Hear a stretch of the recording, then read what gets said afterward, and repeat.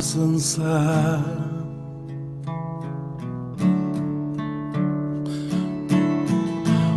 आदर प्रशंसा ग्रहण गर्न योग्यको छौ प्रभु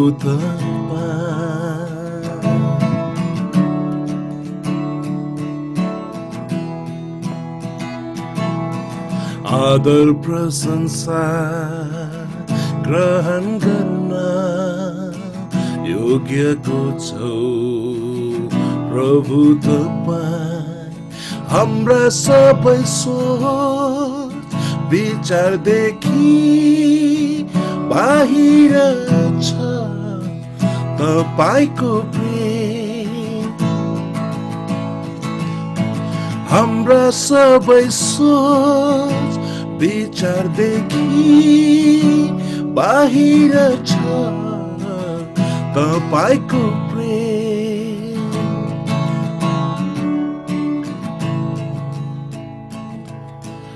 आदर प्रशंसा ग्रहण गर्न योग्यको छौ। प्रभु तपाईँ आदर प्रशंसा ग्रहण गर्न योग्यको छौ। प्रभु तपाईँ हाम्रा सबै सोच विचारदेखि बाहिर छ। तपाईँको प्रेम हाम्रा सबै सोच विचारदेखि बाहिर छ। तपाईँको प्रेम पवित्रताले सुशोभित भई विराजित छौ सिंहासनमा। पवित्रताले सुशोभित भई विराजित छौ सिंहासनमा। विश्वभरिको सृष्टिकर्ता महिमा होस् तपाईँलाई सदा सर्वदा विश्वभरिको सृष्टिकर्ता। महिमा होस् तपाईँलाई सदा सर्वदा। आदर प्रशंसा ग्रहण गर्न योग्यको छौ।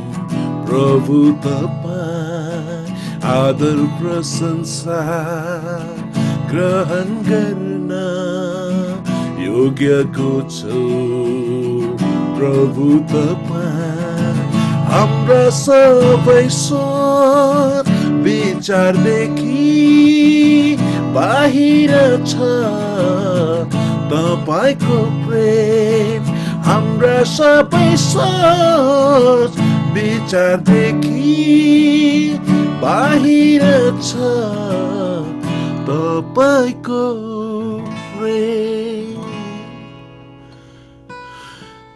धन्यवाद जय मसी हामीले अब ताली बजाएरै मनबाटै स्वागत गर्नेछौँ तपाईँलाई। यसपछि आजको हाम्रो क्लास सुरु हुँदैछ। म पास्टर नर्बुलाई चाहिँ यो क्लासको समयलाई हाम्रो चाहिँ आजको वक्तालाई इन्ट्रोड्युस गर्नुपर्ने त होइन टिचरलाई त्यही पनि हजुरले इन्ट्रोड्युस गरिदिनुहोस्। नर्बु हुनुहुन्छ? उहाँ चाहिँ हुनुहुन्न? ल हुन्छ। पास्टर बा यो समय लिइदिन अनुरोध गर्छु म अब। हुन्छ। तपाईँहरू सबैजनालाई प्रभु यीशु ख्रिस्टको नाउँमा जय मसी परमेश्वरलाई धन्यवाद भएको होस्। हामी यसरी लगातार रूपमा वचनहरू सिक्नमा हामीले यसरी समय दिइराख्न सकेका छौँ। म जतिजना जुममा हुनुहुन्छ जतिजना फेसबुक लाइभमा हुनुहुन्छ तपाईँहरू सबैजनालाई नै धन्यवाद दिन चाहन्छु। र विशेष हाम्रो धन्यवाद पास्टर राजन विश्वलाई उहाँ म उहाँको घरमा बस्ने मौका पाएको थिएँ। उहाँको घरमा चाहिँ थुप्रै म्युजिक सामानहरू उहाँ चाहिँ वास्तवमा प्रोफेसनल सिङ्गर हुनुहुन्छ है धेरै धेरै उहाँले लगानी गर्नुहुन्छ यो म्युजिकको लागि। उहाँले आफ्नो सिडीहरू पनि बन बनाउनु भएको छ र उहाँलाई चाहिँ परमेश्वरले थुप्रैमा गिफ्ट दिनुभएको छ एउटा गाउनेमा पनि। हामी धेरै खुसी छौँ अनि उहाँ सुरुदेखि नै लगातार रूपमा हाम्रो यसमा भइराख्नु भएको छ अनि मलाई अलि इन्करेज गर्नेमा उहाँ पनि हुनुहुन्छ। बेला बेला फोन गरेर होइन इन्करेज गर्नुहुन्छ। जे होस् धन्यवाद तपाईँलाई। तपाईँको एकदम मिठो स्वर हामीले सुन्न पायौँ। अब हामी बाइबल अध्ययनमा जानेछौँ। जानुभन्दा अगाडि तपाईँहरू सबैजना विभिन्न ठाउँबाट आउनुभएकाहरूलाई म धन्यवाद दिन चाहन्छु। कतिजनाले भर्खरै भर्खरै यहाँ लेख्नु भएको छ। ल ठिकै छ।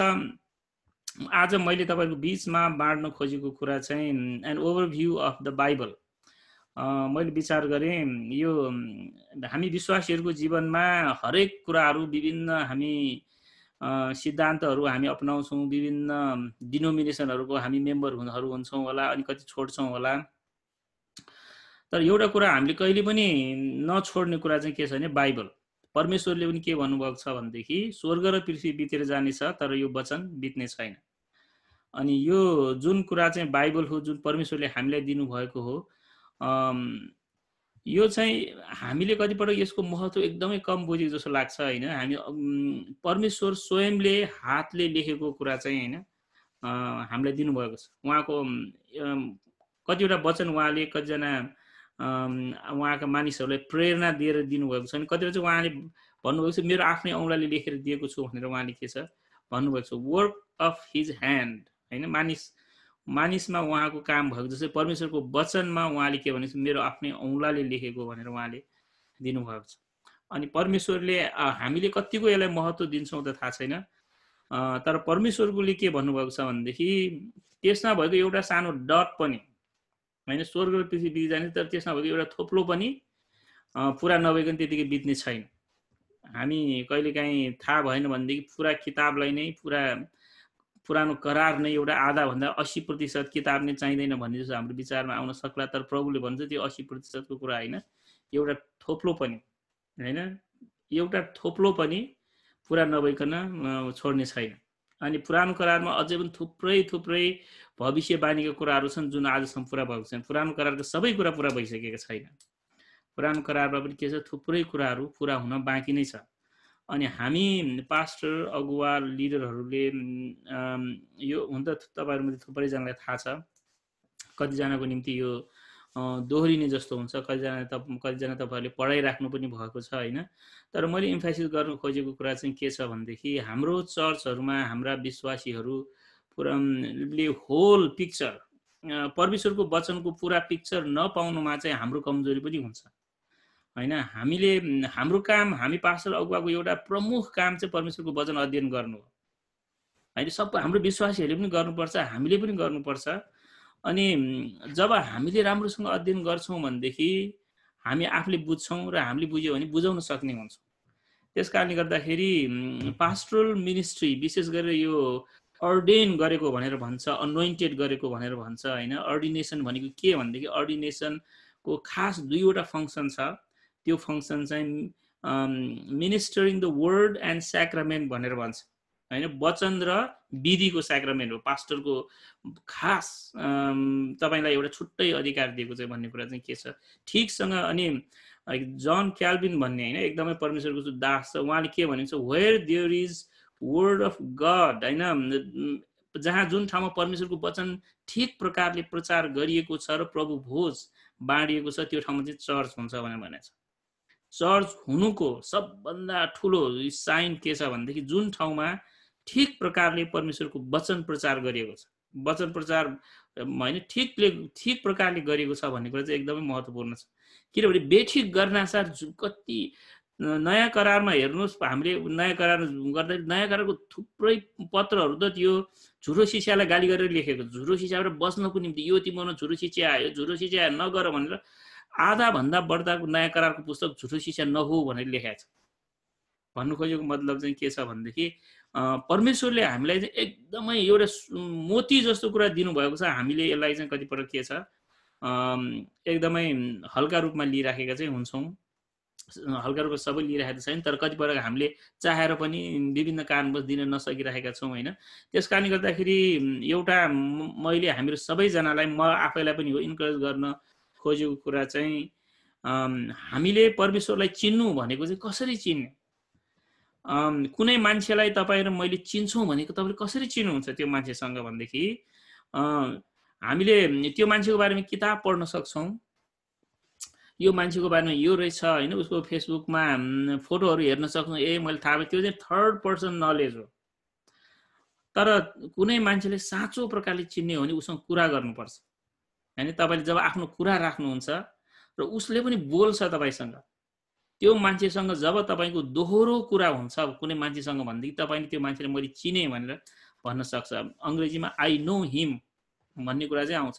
डु यु नो हिम भन्दाखेरि यस आई नो हिम भन्ने चाहिँ के छ? जब तपाईँले परमेश्वरले चिन्नुहुन्छ। तर कहिलेकाहीँ हाम्रो परमेश्वरले चिन्ने जस्तो चाहिँ कस्तो हुन्छ भनेदेखि आई नो प्रेसिडेन्ट ट्रम्प भनेको जस्तो हुनसक्छ। तपाईँले ट्रम्पलाई चिन्नुहुन्छ भने चिनेको छु। भेट्नु भएको छ भने भेटेको छैन होइन? उहाँ थाहा छ सधैँ न्युजमा आइरहेको छ। कहिलेकाहीँ हामीले परमेश्वरलाई चिनेको पनि हामीलाई ट्रम्प हामीले ट्रम्पलाई चिनेको जस्तै गरी चिने हुनसक्छ we do not know God but we know about God परमेश्वरको बारेमा चाहिँ थाहा छ तर परमेश्वरलाई चाहिँ चिनेको छैन भन्ने हाम्रो हुनसक्छ अनि तपाईँले ट्रम्पलाई त्यतिखेर चिने भन्न सक्नुहुन्छ जब when you have opportunity to have conversation तपाईँले पनि चिठी लेखिरहेको होला अब। एकदमै चिठी लेखिरहेको होला भनौँ। चिठी लेखेको छ तर उसले तपाईँले जवाफ दिएको छैन भनेदेखि उसले लेखेको जवाफ तपाईँले पढ्नु भएको छैन भने तपाईँले चिनेको भन्न सक्छ तर बोल्दै नबोले पनि उसले तपाईँलाई चिठी लेखेर पठायो भनेदेखि तपाईँले ओहो ट्रम्पले मिस्टर दिस दिस भन्ने तपाईँको नाममा लेखेर चिठी पठायो भनेदेखि उसले तपाईँले चिनेको भन्ने कुरा अब त्यहाँनिर सम्बन्ध जोड्यो। त्यो भनेको जस्तै हामीले परमेश्वरसँगको सम्बन्धमा पनि उहाँले हामीलाई पर्सनली बोल्नुहुन्छ। हामी पनि उहाँसँग पर्सनली बोल्छौँ जब हामी प्रार्थना गर्छौँ भनेदेखि हामी परमेश्वरसँग कुरा गर्दैछौँ। परमेश्वरले प्रार्थना गर्नुहुन्न हामीसँग। परमेश्वरले हामीसँग कुरा गर्नुहुन्छ होइन? परमेश्वरले प्रकाश दिनुहुन्छ। अनि परमेश्वरले गर्नुभएको कुरा चाहिँ के छ? परमेश्वरको वचन हो। परमेश्वरको वचन चाहिँ बाइबल चाहिँ के छ? उहाँले हामीलाई सृष्टिदेखि नयाँ सृष्टिसम्मको कुरा गर्नुभएको छ। यो संसार सुरु हुनुभन्दा अगाडिदेखिको कुरा यसमा छ यो संसार गइसकेपछिको कुरा यसमा छ। हाम्रो जीवनका हरेक कुराहरू चाहिँ के छ परमेश्वरको वचन उहाँले प्रकट गरिसक्नु भएको छ। अनि कतिपटक हामीले चाहिँ परमेश्वरले मलाई यो बोल्नु भयो त्यो पनि त हो भन्ने जस्तो लाग्छ। हो परमेश्वरले कहिले त्यसरी बोल्नुहुन्छ कहिले काहीँ न पनि बोल्नुहुन्छ। पत्रुसको सामुने पत्रुसलाई परमेश्वरले के छ मलाई तिमी को हो को हो? भनेर सोद्धाखेरि पत्रुसले के भने तपाईँ ख्रिस्ट परमेश्वरको पुत्र हुनुहुन्छ भन्दा स्या ओहो धन्य। होइन?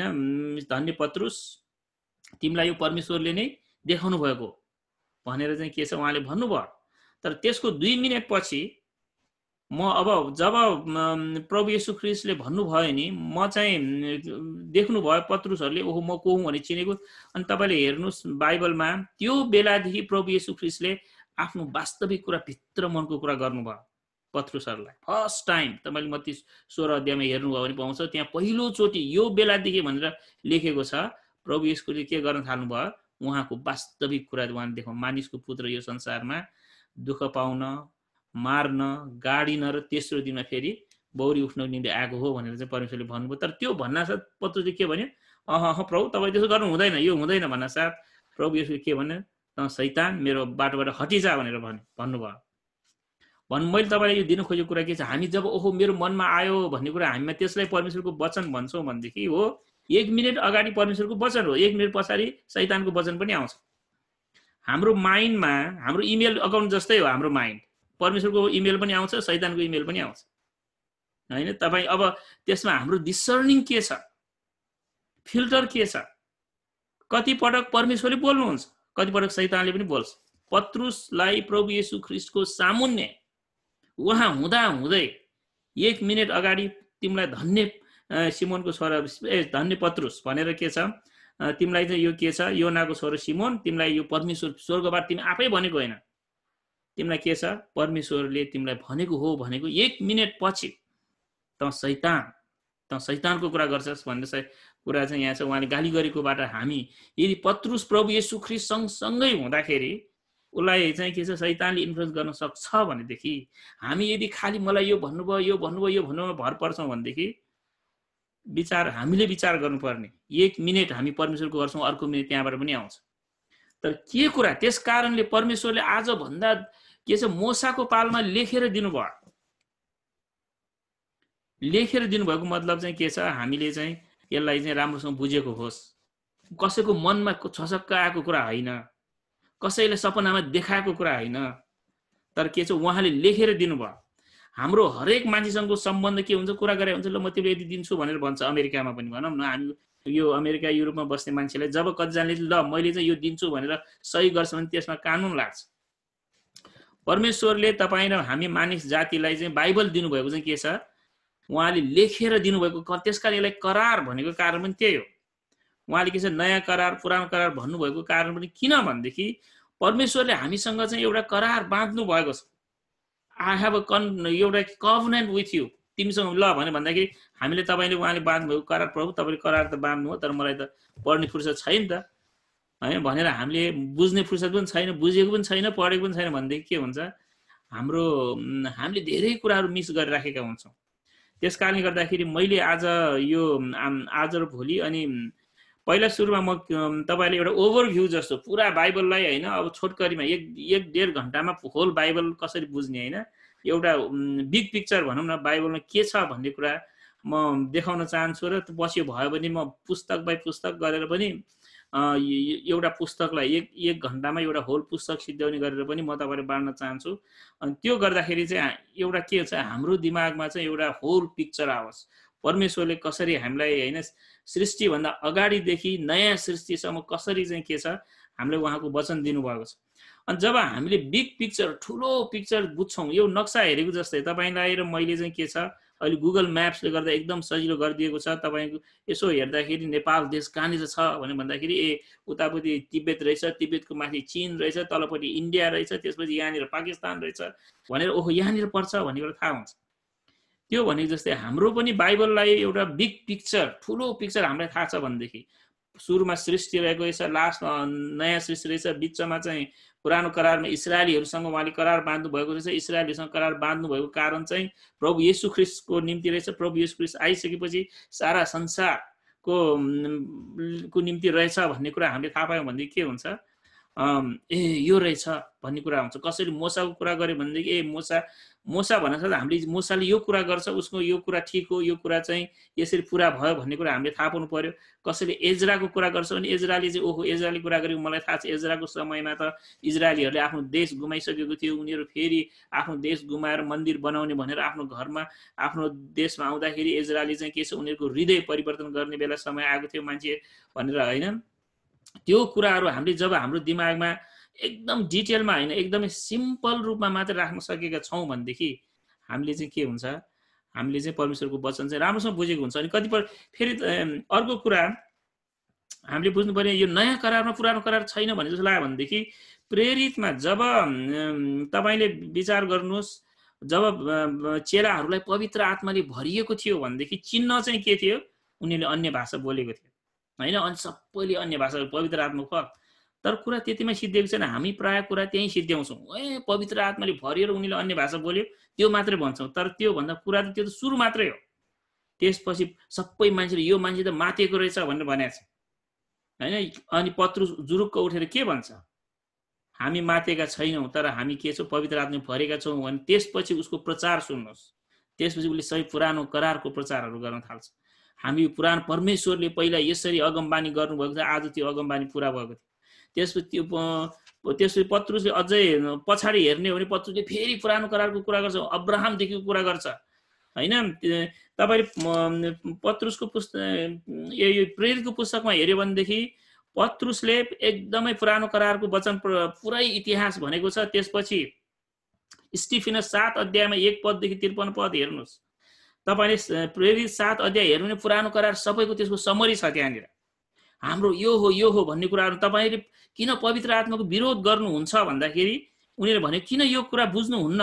जब पुरानो करारमा प्रतिज्ञा गरिनु गरिएको प्रभु येसु ख्रिस पुरानो करारमा प्रतिज्ञा गरेको ख्रिस नै प्रभु येसु ख्रिस हुनुहुन्छ भन्ने नमान्नु चाहिँ के हो? पवित्र आत्माको विरोध गरेको भनेर भनेर चाहिँ के लेखेको छ? यसमानिर चाहिँ प्रेरितको पुस्तकमा लेखेको छ किन तिमीहरू पवित्र आत्माको विरोध गर्छौ? किन हठी हुन्छौ? भनेर भनेको छ होइन? त्यसै गरी तपाईँले पावलले हेर्नुहोस् पावललाई पनि जान्छ उसले पनि सुरु गर्दाखेरि एकैचोटि सुरु गर्दैन। मैले जुन दाउदको करारको बारेमा कुरा गरेँ दाउदको करार के भन्छ? कसरी यो डे सन अफ डेभिड चाहिँ यसु क्रिस्ट हो भने कहाँबाट आयो भन्दाखेरि वास्तवमा के छ? पाउले भनेको हो त्यो। गलातीको पुस्तकमा तपाईँले हेर्नुभयो भनेदेखि के छ? त्यो दाउदको पुत्र वास्तवमा प्रभु येसु ख्रिस्ट हो भनेर दाउदले लेखिसकेको छ। अब्राहमको अब्राहमको पुत्र चाहिँ येसु ख्रिस्ट हो भने कसले भनेको छ? के छ? पावलले भनेको छ। कहाँबाट भन्यो भन्दाखेरि पुरानो कलाबाट भन्यो। अनि त्यो भएकोले गर्दाखेरि तपाईँ र मैले हामीले थाहा पाउनुपर्ने कुरा चाहिँ के छ भनेदेखि परमेश्वरको वचन हामीले बाइबल भनेको चाहिँ पुरा वचन हो। अनि अर्को एउटा कुरा म के भन्न चाहन्छु त्यो त्यहाँ जानुभन्दा अगाडि भनेदेखि बाइबल हो हामीले प्रचार गर्दा एउटा पद दुईवटा पद यसो यो पदमा यसो लेख्छ भन्ने गर्छौँ। त्यो चाहिँ कस्तो भनेदेखि जस्तै भनौँ तर हाम्रो बानी सधैँ यो एउटा एउटा पदलाई लिएर जानु हुँदैन। परमेश्वरले हामीलाई एउटा के छ कहानी एउटा ठुलो योजना भन्नुभएको छ यो परमेश्वरको वचनमा। सृष्टिदेखि नयाँ सृष्टिसम्म एउटा ठुलो योजना छ उहाँको। होइन उहाँले एकदम सिस्टमेटिक तरिकाले पहिला यो हुन्छ त्यसो यो हुन्छ त्यो यो हुन्छ यसो यो भन्ने गरेको छ। हामी चाहिँ एउटा टुक्रा लिएर त्यसैमा जान्छौँ अर्को टुक्रा लिएर त्यसमा जान्छौँ भनेदेखि कतिपटक के छ? कस्तो हुन्छ भनेदेखि अहिले मैले भनिराखेँ तर मैले भनिराख्दाखेरि एक मिनट रेकर्ड गरेर ठ्याक्क त्यहाँ राखिदियो भने कस्तो हुन्छ होला? योनिर ठ्याक्क त्यहाँनिर छ भनेर। हाम्रो चाहिँ के हुन्छ? अर्थको अनर्थ लाग्ने चाहिँ के हुन्छ? जब एउटा एउटा पदलाई लिएर हामी गर्छौँ। सुरुमा परमेश्वरले वचन दिनु हुँदाखेरि कुनै अध्याय थिएन कुनै पद थिएन। होइन यो अध्याय पद भनेको चाहिँ के छ? अक्सफोर्ड युनिभर्सिटी प्रेसले पछि किङ जेम्स बाइबल राख्दाखेरि आएको पछि थपेको मान्छेले कसरी पढ्न सुरु राम्रोसँग हुन्छ भन्दाखेरि अध्याय पद के छ? पछि धेरै पछि थपेको कुरा हो। अनि हामी चाहिँ के छ त्यो अब कसैको चिठी तपाईँले हामीले पढ्दाखेरि सानो एक लाइन मात्र कण्ठ गरेर यो यो भनेको छ तर पुरा चिठी पढेको छैन। एक लाइन मात्र पढेर ओहो यो भन्यो भनेर बसिरह्यो भनेदेखि के हुन्छ? हामीले अर्थको अनर्थ पनि लाग्न सक्छ। त्यो गर्नु हुँदैन भने त्यो पनि चाहिन्छ कतिपय एकदम महत्त्वपूर्ण कुराहरू छ। तर त्यो मात्रै चाहिँ बाइबल अध्ययन होइन। बाइबल अध्ययन परमेश्वरले हामीले के छ? पद र अध्यायमा दिनुभएकै छैन बाइबल चाहिँ। केमा दिनुभएको छ? एउटा ठुलो कहानी एउटा ठुलो प्लट एउटा ठुलो योजनामा दिनुभएको छ परमेश्वरको वचन चाहिँ। अनि हामीले थाहा पाउनु पर्ने चाहिँ त्यो योजना हो। हामीले थाहा पाउनु पर्ने परमेश्वर वाट इज गड सेङ पर प्रभु तपाईँले के भन्दै हुनुहुन्छ? हामी चाहिँ एउटा आवाज मात्र सुने यो मात्र भन्यो भन्दाखेरि तर उहाँले हामीलाई उहाँले के छ सम बुझ्न सक्ने दिमाग दिनुभएको छ। उहाँ बोल्नु हुँदा हामी बुझ्न सक्छौँ।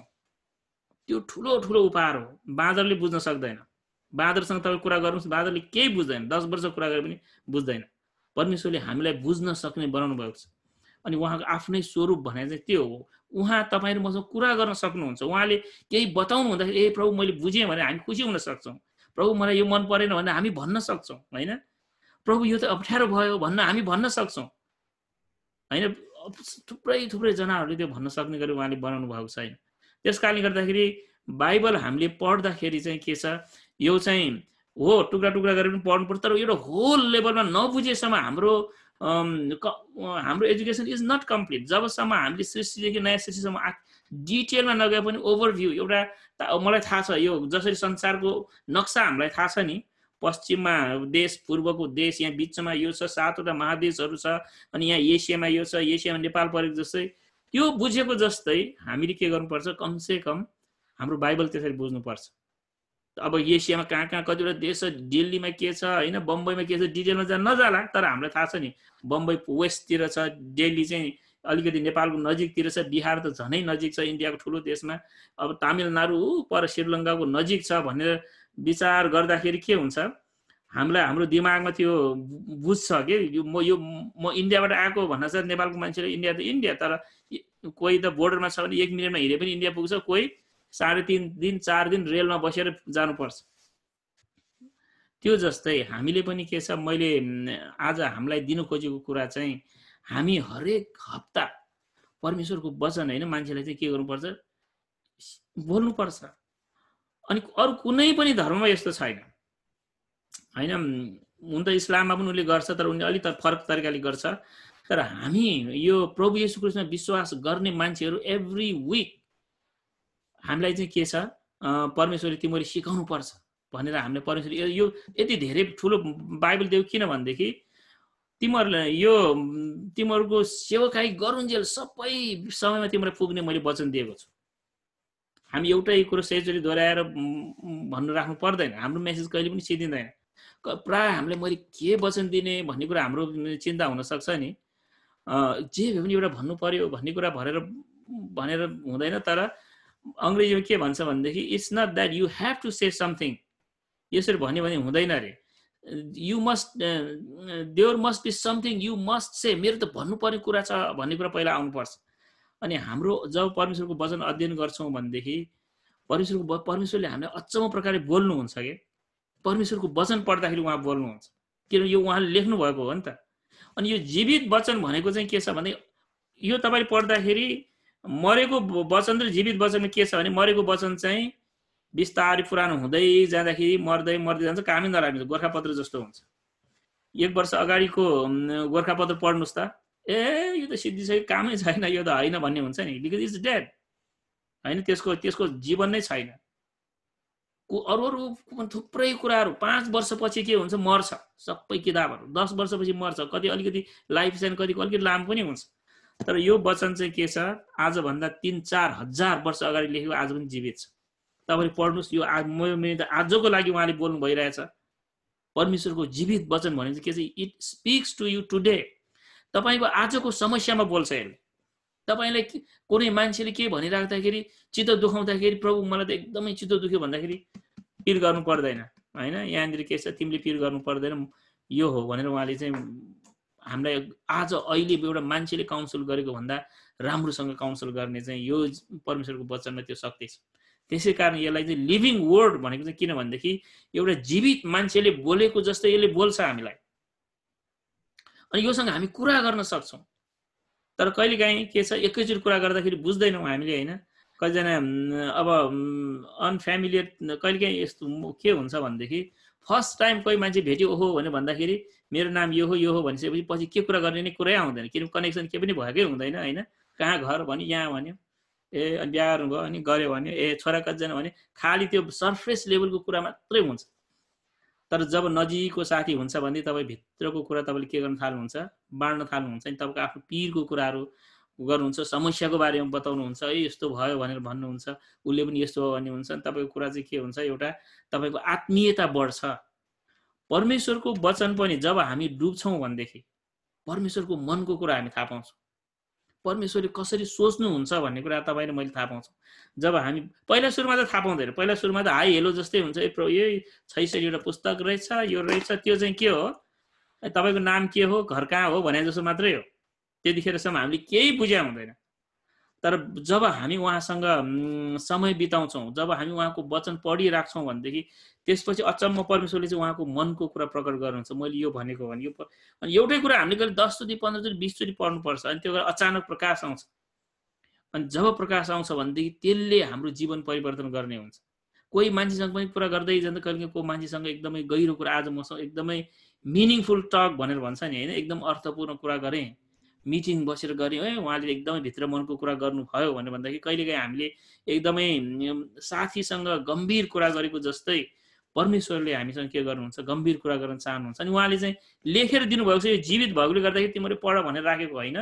तर के छ जब हामी प्रार्थना सहित प्रभु म तपाईँको वचन बुझ बुझ्न चाहन्छु भनेर जब हामी गर्छौँ भनेदेखि then God begins to speak. परमेश्वर बोल्न थाल्नुहुन्छ र हाम्रो जीवन परिवर्तन हुन्छ। अनि हामीले खोज्नु पर्ने हामी एउटा पास्टोरल मिनिस्ट्रीमा हुनुपर्ने कुरा चाहिँ के छ भने वी गो टु वर्ड परमेश्वरको वचनमा हामी जान्छौँ जीवित वचनमा जान्छौँ परमेश्वरको वचन एउटा वचन प्रभु मैले यो बुझिनँ यो भनेको भनेर हामी त्यसमा होइन कहिलेकाहीँ कतिवटा कुराहरू गाह्रो छ। मलाई पनि यो प्रभु यो वचन त मैले अब म प्राय वचन प्रचार गर्दाखेरि एउटै किताबबाट प्रचार गर्छु अहिले प्रकाशको पुस्तकबाट वचन दिइरहेको छु होइन। कहिलेकाहीँ प्रभु यो यो त के एकदम गाह्रो छ। मैले त के भने मैले त मेसेज नै छैन तपाईँले के भन्नु खोज्नु भएको अनि तर त्यो वचन लिएर जाँदा कहिले सुतिरहेको बेला आउँछ झलाई ओहो यसको यो हो भनेर। अनि मैले के मैले लेख्नु पर्ने हुन्छ यसको पोइन्ट चाहिँ। तपाईँले भन्नु खोज्दा यो पो रहेछ त। होइन त्यो परमेश्वरको वचनलाई हामीले दिमागमा राखेर यहाँ यो भन्यो होइन? अहिले प्रकाशको पुस्तक पढ्दाखेरि ल घोडा निस्क्यो भन्छ घोडाले त मान्छे मारिदियो अरे। एक त्याइ मान्छे मऱ्यो। अब प्रभु म के भन्ने मेरो चर्चको मान्छेहरूलाई होइन? यस्तो भन्दा तिम्रो त्यस्तो प्रभु पनि हुन्छ एक त्याइ मान्छे मार्ने भने के गर्ने? होइन? अनि त्यो तर त्यो तर्कना लिएर प्रभु त्यहाँ तपाईँले त्यो त्यत्तिकै राख्नु भएको छैन यहाँनिर के सन्देश छ? हामीले बुझ्नुपर्ने कुरा छ यहाँनिर यो घोडाहरू निस्किँदाखेरि यो कचौराहरू पोखिँदाखेरि आएको समस्या यो तुरैहरू फुक्दाखेरि भएको कुराहरू त्यहाँ के हामीले बुझ्नुपर्ने कुरा छ? प्रभु म बुझ्न चाहन्छु भने जब हामी त्यसलाई दिमागमा लिएर बसिराख्छौँ सोचिराख्छौँ भनेदेखि यो हो भनेर उहाँले क्लिक गर्थ्यो त्यतिखेर लेख्नुहोस् बिर्सिन्छ फेरि। परमेश्वरले भनेको कुरा हाम्रो दिमाग के छ? त्यति सम्झिराखेको हुँदैन त्यतिखेर तपाईँले के गर्नुहोस् लेख्नुहोस्। अनि ल पछि बाइबल स्टडी मेथड म पछि कुरा गरौँला तर आज मैले तपाईँहरूलाई अलिकति कन्टेक्स्ट भर्न खोजेको होइन। त्यस कारणले गर्दाखेरि यो मेरो मेरोमा त यो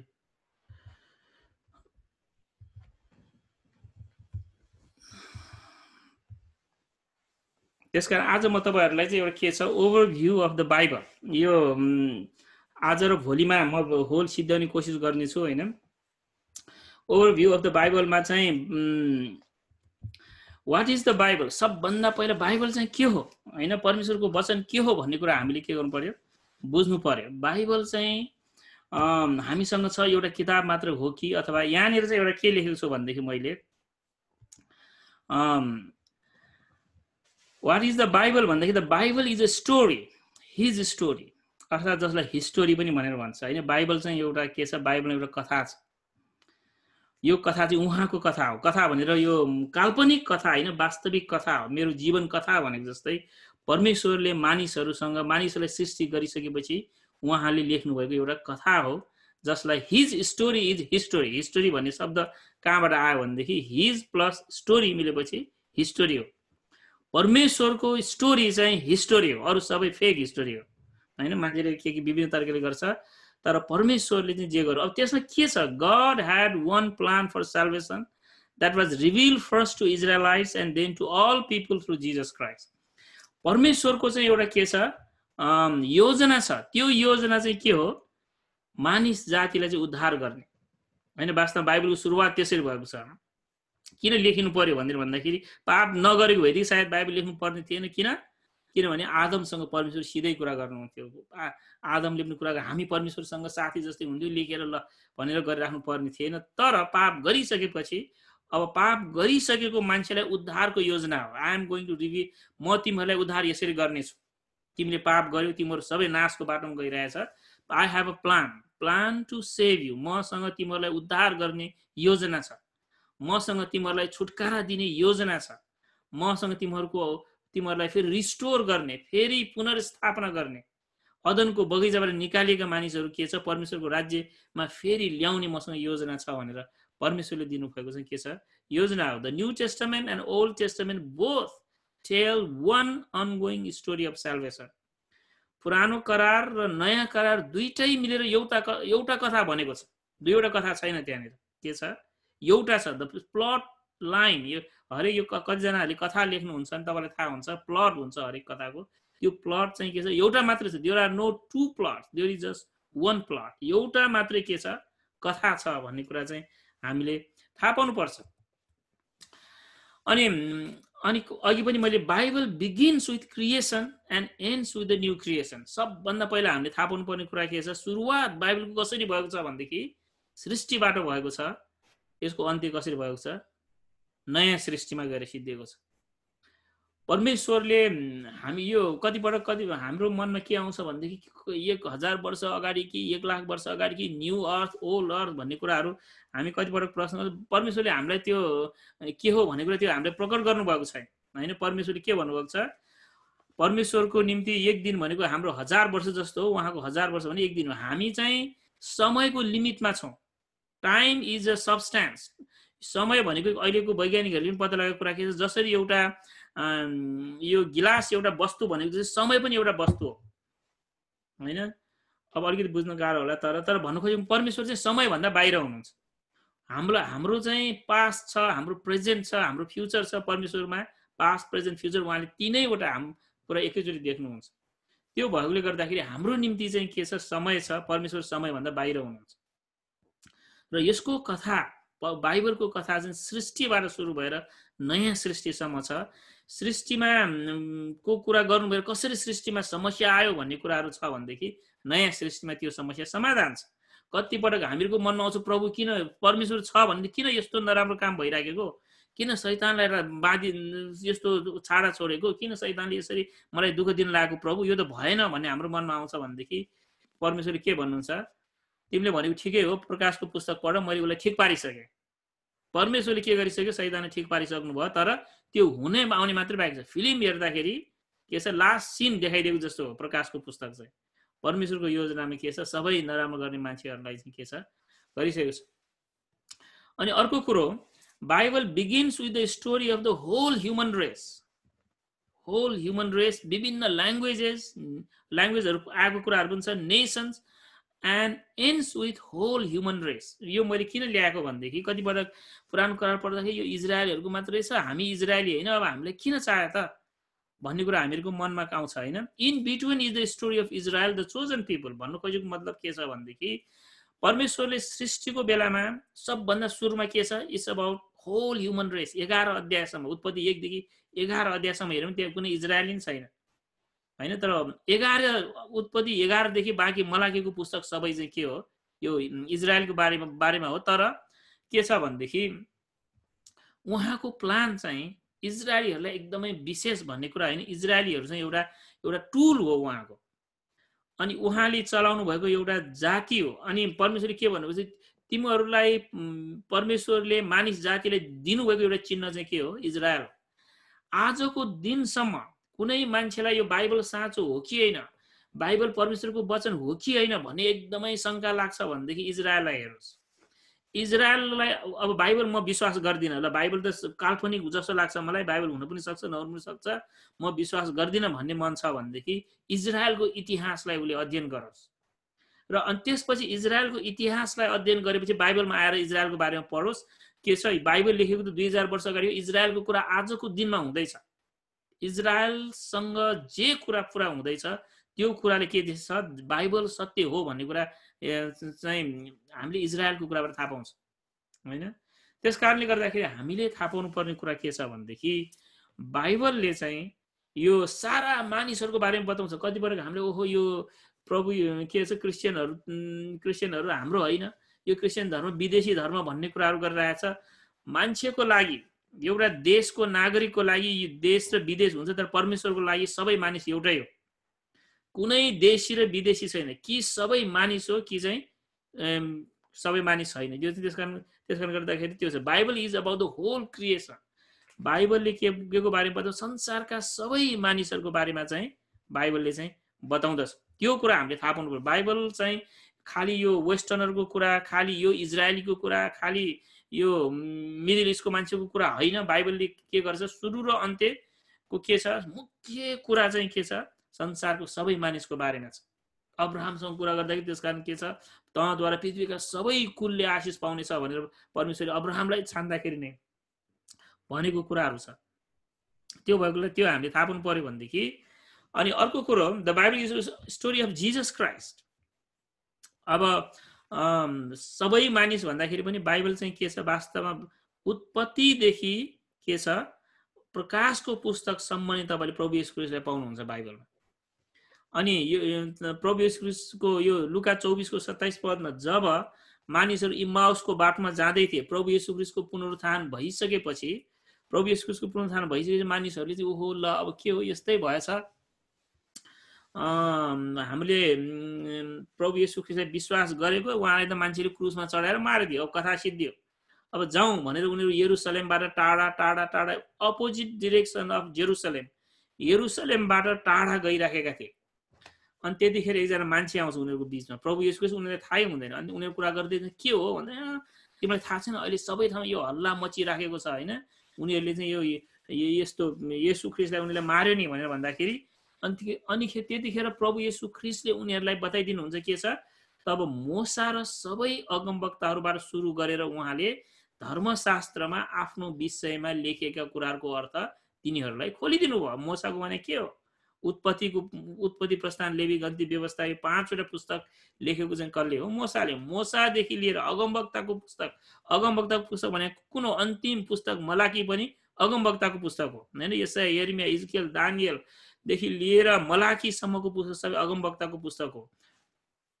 भन्न खोजेको मतलब उहाँले के भन्यो भनेर हामीले देखेको छैन तर तर बुझ्नुपर्ने कुरा के छ? चेलाहरूले यो प्रेरित प्रेरितको पुस्तकमा दुई अध्यायमा तिन अध्यायमा सात अध्यायमा तेह्र अध्यायमा के छ? त्यहाँनिर पुरा पुरानो करारको प्रभु यसको यसरी उनीहरूको हृदय खोलिदिएपछि अब हामीलाई के लाग्छ भनेदेखि परमेश्वरको वचन मलाई बुझ्न गाह्रो छ भने जस्तो कतिपल्ट मनमा लाग्छ। तर के छ पवित्र आत्माले हामीलाई गर्ने एउटा काम चाहिँ के हो भनेदेखि परमेश्वरको वचन बुझ्ने बनाइदिनुहुन्छ जब हामी प्रभु पवित्र आत्मा मलाई सहायता गर्नुहोस्। केमा सहायता गर्ने भनेर भन्दाखेरि के छ तपाईँको वचन बुझ्नलाई सहायता गर्नुहोस्। रहस्य रहस्यको कुराहरू पावलले कसरी त्यो के छ यो दाउदको दाउदको सिंहासनमा सधैँको निम्ति बस्ने भनेर पत्ता लगाएको कसरी भन्दाखेरि उसलाई परमेश्वरले प्रकट गरिदिनु हो अब्राहमको यो सिडको बारेमा यो चाहिँ बहुवचन होइन एक वचन हो भनेर अरूले भनेको भने पावलले लेखेको गलातीको पुस्तकमा तिन अध्यायमा हेर्नुभयो भने पावलले के छ अब्राहमको सन्तान भनेको वास्तवमा प्रभु यशु ख्रिसको हो भनेर पावलले लेखिरहेको छ त्यहाँ। कसरी पावलले थाहा पायो भनेदेखि किनभने उसलाई उसमा पवित्र आत्मा थियो।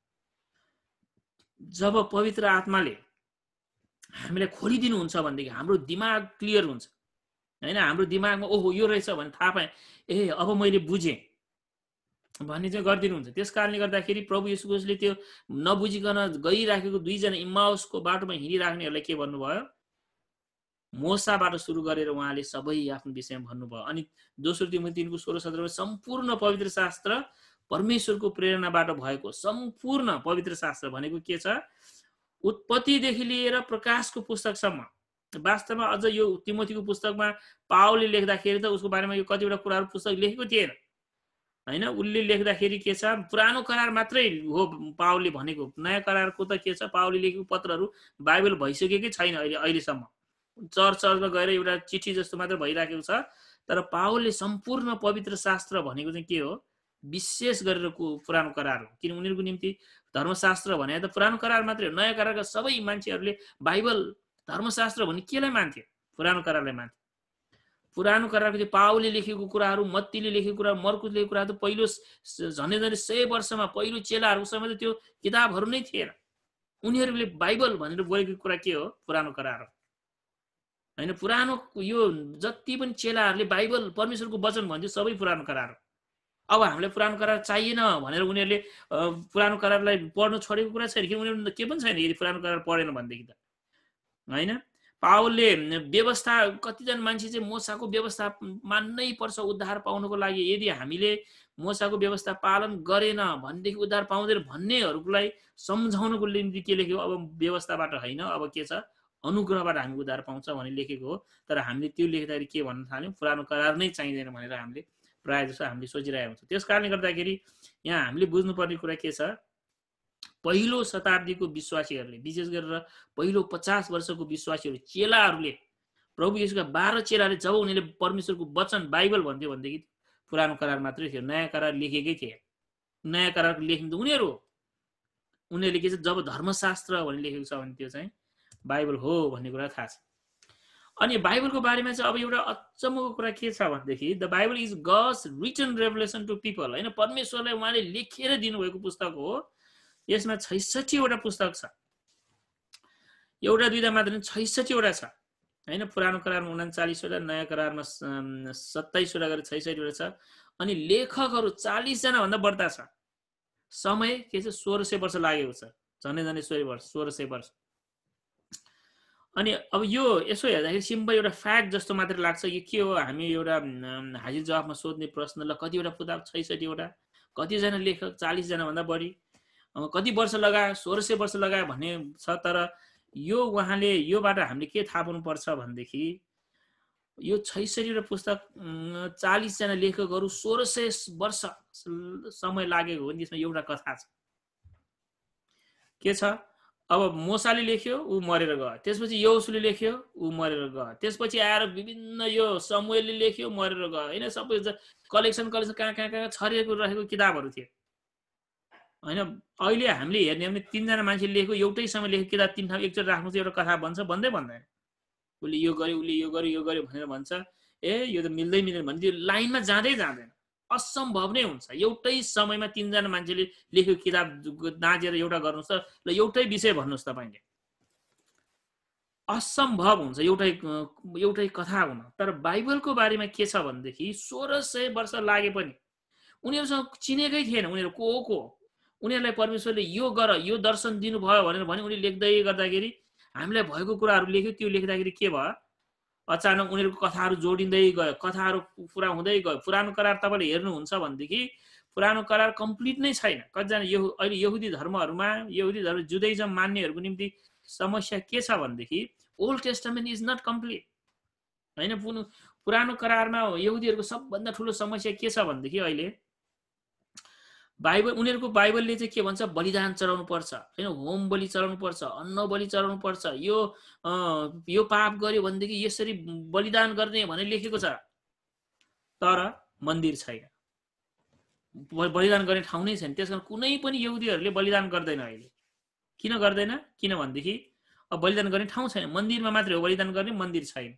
मन्दिर भएको भए हाम्रो वचन पुरा हुन्थ्यो भन्ने कुरा उनीहरूको मनमा छ। र मन्दिर पर्खेर यो सबै यहुदीहरूले एकदम कट्टर यहुदीहरूले भनौँ साँचो विश्वास गर्ने यहुदीहरूले चाहिँ केलाई पर्खेको छ? हामी फेरि मन्दिर बनाउने छौँ र त्यसपछि फेरि यो मोसाले सिकाएको बलिदानहरू हामी गर्नेछौँ भनेर उनीहरू पर्खेर बसिरहेको छ। होइन? भन्नु खोजेको मतलब चाहिँ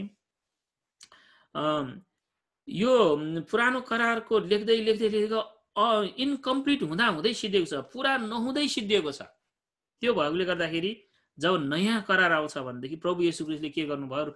उहाँ अन्तिम रात्रि भोजमा पास ओभर निस्तार चाड मनाउँदाखेरि के गर्नुभयो? रोटी लिनुभयो र भाँच्नु भयो र भनौँ यो मेरो शरीर हो। अनि जब उहाँले त्यो भाँच्नु भयो भने सबै मान्छेले के हो यो? के हो? भनेर होइन यो निस्तार चाड मनाउँदाखेरि गरिरहेको कुरा त्यो थुमा के हो? सबै कुरा उनीहरूले थाहै थिएन। यो थुमाको बलिदान गर्नुपर्ने थुमाको रगत त्यहाँ राख्नुपर्ने के हो? के हो? किन थुमाको रगत राखेर के हुने हो? प्रभुले जब भाँच्नु भयो उहाँमा पुरा भयो भनेर उहाँले चाहिँ देखाउनु भयो। त्यस कारण यस्तो छैसठीवटा पुस्तक चालिसवटा लेखकहरू सोह्र सय वर्ष लागे पनि के छ? एउटा कथामा चाहिँ थपिँदै थपिँदै थपिँदै थपिएको छ त्यस कारणले गर्दा यो चाहिँ डिभाइन रिभिलेसन हो। परमेश्वरले नै गर्नुभएको हो भन्ने कुरा चाहिँ हामीले थाहा पाउँछ। अब लेखकहरू कस्तो थियो त? कोही राजाहरू थिए कोही राजकुमारहरू थिए कोही एकदमै पोइट होइन कविहरू थिए कोही एकदमै दार्श दार्शनिकहरू थिए कोही अगमवक्ता थिए कोही देश चलाउने स्टेट्सम्यानहरू थिए भने कोही साधारण मानिसहरू थिए। परमेश्वरले एकै किसिमको मान्छेलाई चलाउनु भएको छैन परमेश्वरले के छ? फरक फरक फरक फरक किसिमका मान्छेहरूलाई चलाउनु भएको छ। तर फरक फरक मानिसहरूलाई चलाउनु भए पनि इट टेल्स वान स्टोरी यसले एउटा कथा भन्छ त्यसमा थपिँदै थपिँदै थपिँदै गएको छ। कतिपटक हामीले सेवकाई गर्दाखेरि ओहो यो मान्छे यस्तो छ यो पास्टर यस्तो छ यो अगुवा यस्तो छ यो पास्टरले यस्तो पढेको छ यो पास्टरले पढेको छैन यो पास्टरले ट्रेनिङ लिएको छ लिएको छैन भनेर भन्ला होइन। परमेश्वरले पास्टर सबैले चलाउन सक्नुहुन्छ। पवित्र आत्माले जब गर्नुहुन्छ उनीहरूले लेख्नेहरू हुन्छ। साधारण अनपढ यो पत्रुसलाई मान्छेले के भन्छ? एकदमै पढ्दै नपढ्ने पत्रुसलाई त के छ? उसले त उपासमा पढ्न जान्दैन थियो स्कुल कहिले गएको छैन? तर के छ? उसलाई परमेश्वर चाहिँ परमेश्वरले मूर्खलाई छान्नुहुन्छ भनेर भन्छ तर के गर्छ? जब छान्यो भनेदेखि पत्रुसले जा लास्टमा जाने बेलामा आजभन्दा दुई हजार वर्ष अगाडिको मान्छे स्कुल नभएको बेलामा मान्छे उसले के छ? पत्र लेखेर छो छोडेर गएको छ। अनि मर्कुसको सुसमाचार के छ? उसले मर्कुस भन्नेलाई उसले भनेको कतिजना यो बाइबल कलेजमा हामी के भन्छौँ भनेदेखि गस्पल अफ मार्क चाहिँ के छ? पत्रुसको सुसमाचार हो भनेर भन्छौँ। किनभने मर्कुसलाई चाहिँ उसले के छ? भन्यो मर्कुसले चाहिँ लेख्यो। के छ भनेदेखि उनीहरू एक जमानामा एकदमै कामै नभए अनपढहरू थिए तर प्रभु यीशु ख्रिस्टसँग तिन वर्ष हुँदा पवित्र आत्मा उनीहरू दिँदाखेरि उनीहरू के भएका छन्? बुझ्ने भएका छन्। परमेश्वरको वचन पुरानो करार बुझेर होइन त्यसरी लेख्ने भएका छन्। परिवर्तन भन्नु त्यसरी हुन्छ। हाम्रो पनि नेपालतिर पनि बुढी आमाहरू उहाँहरू स्कुलै गएको थिएन तर चर्च आउँदा आउँदा भजन गीत गाउँदा गाउँदा पढ्न जाने भइरहेछ। कहिले स्कुल नगएकाहरू के छ? पढ्न जाने मैले बाइबल पढ्न सिकेँ भनेर पढिरहेको हुन्छ। भन्नु खोजेको मतलब चाहिँ हामीलाई यो पढोस्। मोसाले म बोल्न जाँदिनँ भन्दाखेरि के भनेको थियो? मान्छे त्यो बोल्न जिब्रो बनाउने को? मोसालाई जब परमेश्वरले बोलाउनु भयो नि त्यतिखेर मोसाले के भनेको थियो? प्रभु अरूलाई पढाउँ म त बोल्नै जाने छैन भनेर भन्दाखेरि तिमी त्यसो नभन त त्यो जिब्रो बनाउने को? म। हामी कतिपल्ट प्रभु मैले पढ्न जाने छैन भनेर भन्छौँ त्यो दिमाग बनाउने को? हो भनेर परमेश्वरले भन्नुहुन्छ। प्रभु म बुझ्दिनँ भन्दाखेरि किन बुझ्दैन? कोसिस गर होइन? त्यो दिमाग बनाउने को हो? मैले बनाएको तिमीहरूको दिमाग। कोही कमी राखेको छैन। तिमीले अलिकति मेहनत मात्रै गर्नुपर्छ। संसारको कोही भन्दा तिमी कमी हुँदैन। त्यस कारणले गर्दाखेरि परमेश्वरले के छ? सबै राजादेखि लिएर साधारण अनपढसम्मलाई प्रयोग गरेर उहाँको वचन लेख्नु भएको छ। स्कुल कहिले नगएको मान्छेले वचन पढेको होइन लेखेको छ। त्यो भएकोले गर्दाखेरि हामी एक्काइसौँ शताब्दीमा छौँ कम्प्युटरहरू चलाएर बस्छौँ होइन? एउटा तपाईँले कुनै पनि छ भने सर्च गऱ्यो भने तुरन्त तुरन्तै उत्तरहरू आउँछ युट्युबमा खोज्न सक्नुहुन्छ परमेश्वरको वचन यो हो भने के हो भने सोध्यो भने गुगलले जवाब दिने बेलामा हामीले थाहा छैन भनेर बस्नु एकदमै मिल्दैन अहिले हामीले के गर्नु पर्यो? हामीले आफै म बुझ्न चाहन्छु भन्ने अहिले अहिले त के छ? जसले पनि सिक्न सक्छ। सिक्न नसक्ने भने कोही पनि छैन अहिले। इच्छा छ भनेदेखि भित्रदेखि इच्छा छ भनेदेखि। परमेश्वरले पहिला पनि प्रयोग गर्नुभएको छ र आज पनि उहाँले के गरिराख्नु भएको छ? प्रयोग गर्नुभएको छ। त्यस कारण यो नयाँ करार र पुरानो करारको बारेमा अलिकति भन्नु पर्दाखेरि अब नेपालीमा त हामी करार नै भन्छौँ अङ्ग्रेजीमा न्यू टेस्टामेन्ट भनेर भन्छ ओल्ड टेस्टामेन्ट भनेर भन्छ। यो के हो टेस्टामेन्ट भनेको? भन्दाखेरि चाहिँ वास्तवमा टेस्टामेन्ट भनेको पनि कभनेन्ट हो करार होइन? Old covenant and new covenant भनेर भने अनि पुरानो करार भनेको the covenant of God about salvation of people before Jesus Christ के यसु ख्रिस्ट आउनुभन्दा अब परमेश्वरको योजना प्रभु यसु आउनुहुनेछ। उहाँ आउनुभन्दा अगाडिसम्म म कसरी तिमीहरूको उद्धार गर्छु भन्ने कुराको कभनेन्ट उहाँले के छ? पुरानो करारमा दिनुभएको छ भनेदेखि नयाँ करारमा उहाँले बाँध्नुभएको करार प्रभु यशु ख्रिस्ट आइसक्नु भएपछि उहाँले बाँध्नु भएको करार चाहिँ के छ? नयाँ करारमा छ। अनि ल अब नयाँ करार र पुरानो करारमा हामीले दुई दुईवटालाई मिलाएर राख्दाखेरि के देख्छौँ भनेदेखि the Old Testament begins with God पुरानो करारको जेनेसिस वान टू वान हेर्नुहोस्। पुरानो करारमा केबाट सुरु भएको छ? परमेश्वर in the beginning God created heavens and earth आदिमा परमेश्वरले स्वर्ग र पृथ्वी सृष्टि गर्नुभयो। परमेश्वरबाट सुरु भएको छ भनेदेखि new New Testament begins with Jesus Christ होइन? यो चाहिँ जति पनि कथाहरू छ अब्राहमको पुत्र दाउदको पुत्र येसु ख्रिसको वंशावली भनेर मती एकको एकमा छ भनेको यो चाहिँ येसु ख्रिसको अब। लेस टक अब उहाँको वंशावलीदेखि सुरु गरौँ। को को हो भन्ने कुरा छ। मत्तीले चाहिँ अब्राहमबाट सुरु गरेको छ भनेदेखि लुकाल चाहिँ आदमदेखि नै सुरु गरेको छ। अनि अर्को कुरा पुरानो करारमा कभनेन्ट अफ ल परमेश्वरले व्यवस्था दिनुभएको छ। व्यवस्था दिएर ल यो चाहिँ मेरो के छ? करार हो तिमीहरूसँग यो चाहिँ के छ? मैले तिमीलाई दिएको दस आज्ञा हो। दस आज्ञा मात्र होइन त्यहाँनिर यहुदीहरूले छ सय उन्नाइसवटा आज्ञा छ भनेर भन्छ। पुरानो करारमा जम्मा जम्मी कतिवटा आज्ञा छ? छ सय उन्नाइसवटा आज्ञाहरू छ भनेर भन्छ। अनि त्यो चाहिँ के छ? परमेश्वरले पुरानो करार र नयाँ करारको सबभन्दा ठुलो फरक चाहिँ के छ भनेदेखि हामीले अब मैले प्राय बुझाउँदाखेरि कसरी बुझाउँछु भनेदेखि हाम्रो आफ्नो छोराछोरीहरूलाई हामी सानो छँदाखेरि चाहिँ ओल्ड टेस्टमेन्ट अनुसार बुझा व्यवहार गर्छौँ ठुलो भएपछि चाहिँ न्यु टेस्टमेन्ट अनुसार व्यवहार गर्छौँ। भनेको चाहिँ सानो हुँदाखेरि नियम बनाउँछौँ। तिमीले खाना यतिखेर खाने तिमीले यसरी बिहान उठेपछि ब्रस गर्ने तिमीले नुहाउनु पर्छ मैले भर्खर मेरो छोरालाई पनि भने तिमीले ब्रस गर्यो भने सोधेँ होइन गरेको छैन ल गर्न जाऊ भनेर पठाएँ। मैले भन्नुपर्छ उसलाई। तिमी यतिखेर सुत्ने यतिखेर उठ्ने कहिले सुतेन भने सुत सुत भन्ने होइन? खाना खाऊ भन्ने यसरी खाऊ भन्ने मुख धोऊ भन्ने सबैको नियम दिनुपर्छ हामीले बच्चाहरूलाई। न त उनले सिक्दै सिक्दैन। तर उनीहरू पछि बिस्तारै ठुलो हुँदै ठुलो हुँदै ठुलो हुँदै ठुलो हुँदै गएपछि के हुन्छ? त्यो सबै नियम उनीहरू इन्टरनलाइज भित्रदेखि जान्छ र हामीले भन्नै पर्दैन। तपाईँको पन्ध्र वर्षको छोरालाई बिस वर्षको छोरालाई अथवा पच्चिस वर्षको कोही कोही त पन्ध्र बिस वर्ष पनि भन्नुपर्ने हुन्छ। बिस पच्चिस वर्षको छोरालाई मुख धो भनेर भन्नुपर्छ। नुहाउ भन्नुपर्छ होइन?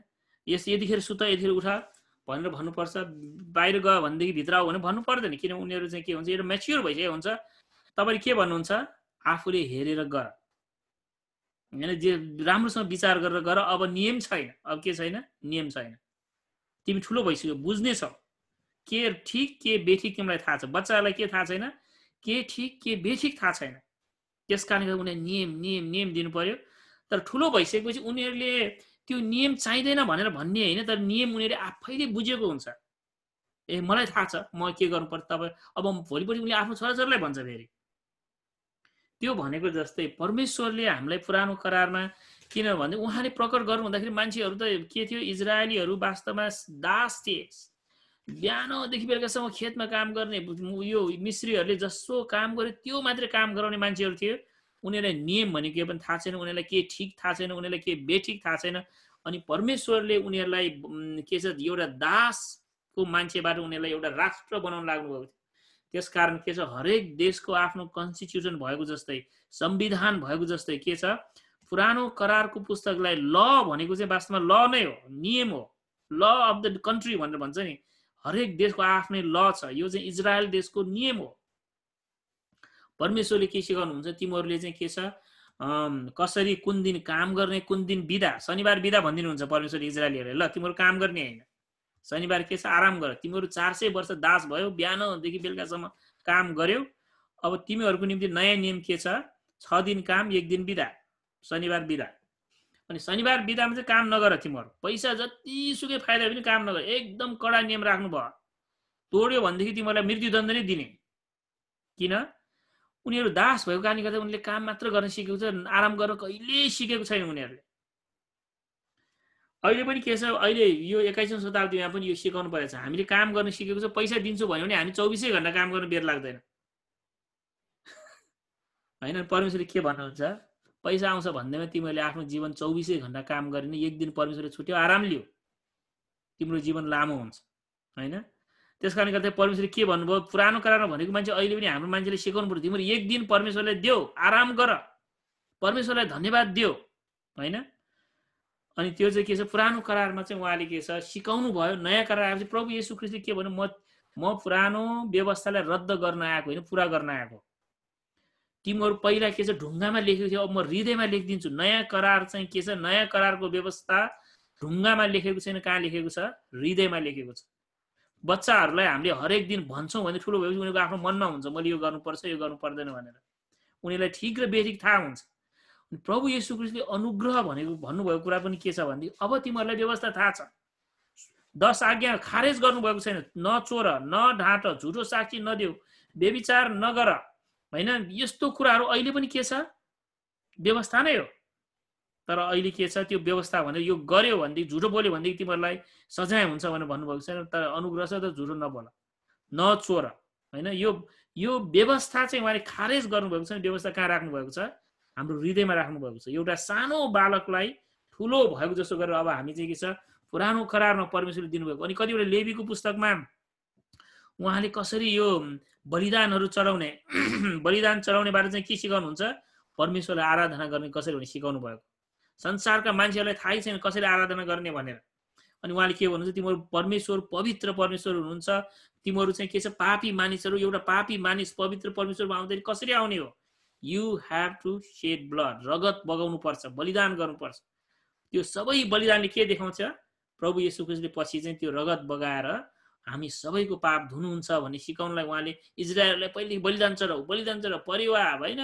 त्यसपछि आएर गोरुदेखि लिएर विभिन्न हाँसदेखि लिएर कुखुरादेखि लिएर बलिदान चढाउ बलिदान चढाउ बलिदान चढाउ भन्नुबाट लास्टमा आएर के गरौँ? अब सिद्धि हो अब बलिदान चढाउनु पर्दैन। अब मैले बलिदान चढाएँ भनेर अनि के गर्नुभयो? कतिवटा कुरा अब गर्नु नपर्ने भएको छ। पुरानो कार पढ्दाखेरि चाहिँ के थाहा पाउँछौँ? ए बलिदान गर्दाखेरि त पाप क्षमा हुने रहेछ त। उहाँले गर्नुभएको कुरा त यो रहेछ भन्ने कुराहरू चाहिँ हामीले थाहा पाउँछौँ। त्यस कारणले गर्दाखेरि कभनेन्ट अफ ल र कभनेन्ट अफ ग्रेस भन्ने कुरा हामीले थाहा पाउनु भयो। पुरानो करार चाहिँ सुरु गरेको छ। जे कुरा परमेश्वरले सुरु गर्नुभयो त्यो कुरा नयाँ करारमा आएर के भएको छ? पुरा भएको छ। पुरानो करार सिनै पर्वतमा सिनै पर्वतको वरिपरि घुमिराखेको छ। सिनै पर्वतमा परमेश्वरले आफैले प्रकट गर्नुहुन्छ। सिनै पर्वतमा परमेश्वरले के गर्नुहुन्छ? दस आज्ञा दिनुहुन्छ। सिनै पर्वतमा छ सय उन्नाइस आज्ञा। सबै व्यवस्था परमेश्वरले मोसाले बोला तिमी माथि आऊ पहाडमा आऊ मसँग कुरा गर भनेर उहाँले भन्नुभयो। के छ? व्यवस्था दिनुभएको छ सिने पर्वतमा छ भने नयाँ करारमा आएर चाहिँ के छ? कल क्यालबारीमा आएर चाहिँ के छ? जहाँ उहाँको क्रुस उहाँ क्रुसमा मर्नुभयो त्यो ठाउँमा आएर उहाँ कसरी बलिदान हुनुभयो? पुरानो करारमा ख्रिस्ट आउनुहुने छ भनेर उहाँले भन्नुभएको छ भनेदेखि नयाँ करारमा के छ? ख्रिस्ट चाहिँ प्रकट गरिएको छ। पुरानो करारमा पढ्दाखेरि ओहो के छ? उहाँले आउँछु भन्नुभएको कुरा छ होइन? यो गर्छु यो गर्ने भनेर भन्नुभएको कुरा छ भनेदेखि नयाँ करारमा आएर चाहिँ के छ? उहाँले ल यो हो भने प्रकट गरिएको छ। अनि अनि एउटा फ्रम आदम टु अब्राहम हामीले यो भनौँ अब उत्पत्ति एकदेखि एघार अध्यायको कुरा हो। History of whole human race के छ? अघि मैले चाहिँ पुरा मानिस जातिको चाहिँ इतिहास हो भनेदेखि from Abraham to Jesus Christ history of the chosen people अब्राहमलाई छान्नु भएको चाहिँ के छ?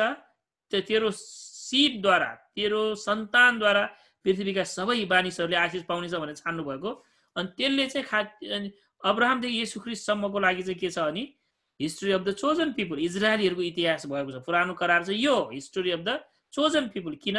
परमेश्वरले अब्राहम एकजना मान्छेले छान्नुभयो तँबाट यसु ख्रिस्ट आउनेछ र यसु ख्रिस्टले फेरि के छ संसारको सबै मान्छेहरूलाई आशिष दिनेछ। फ्रम क्राइस्ट अनवर्ड पनि डिओले छुटेछ होइन?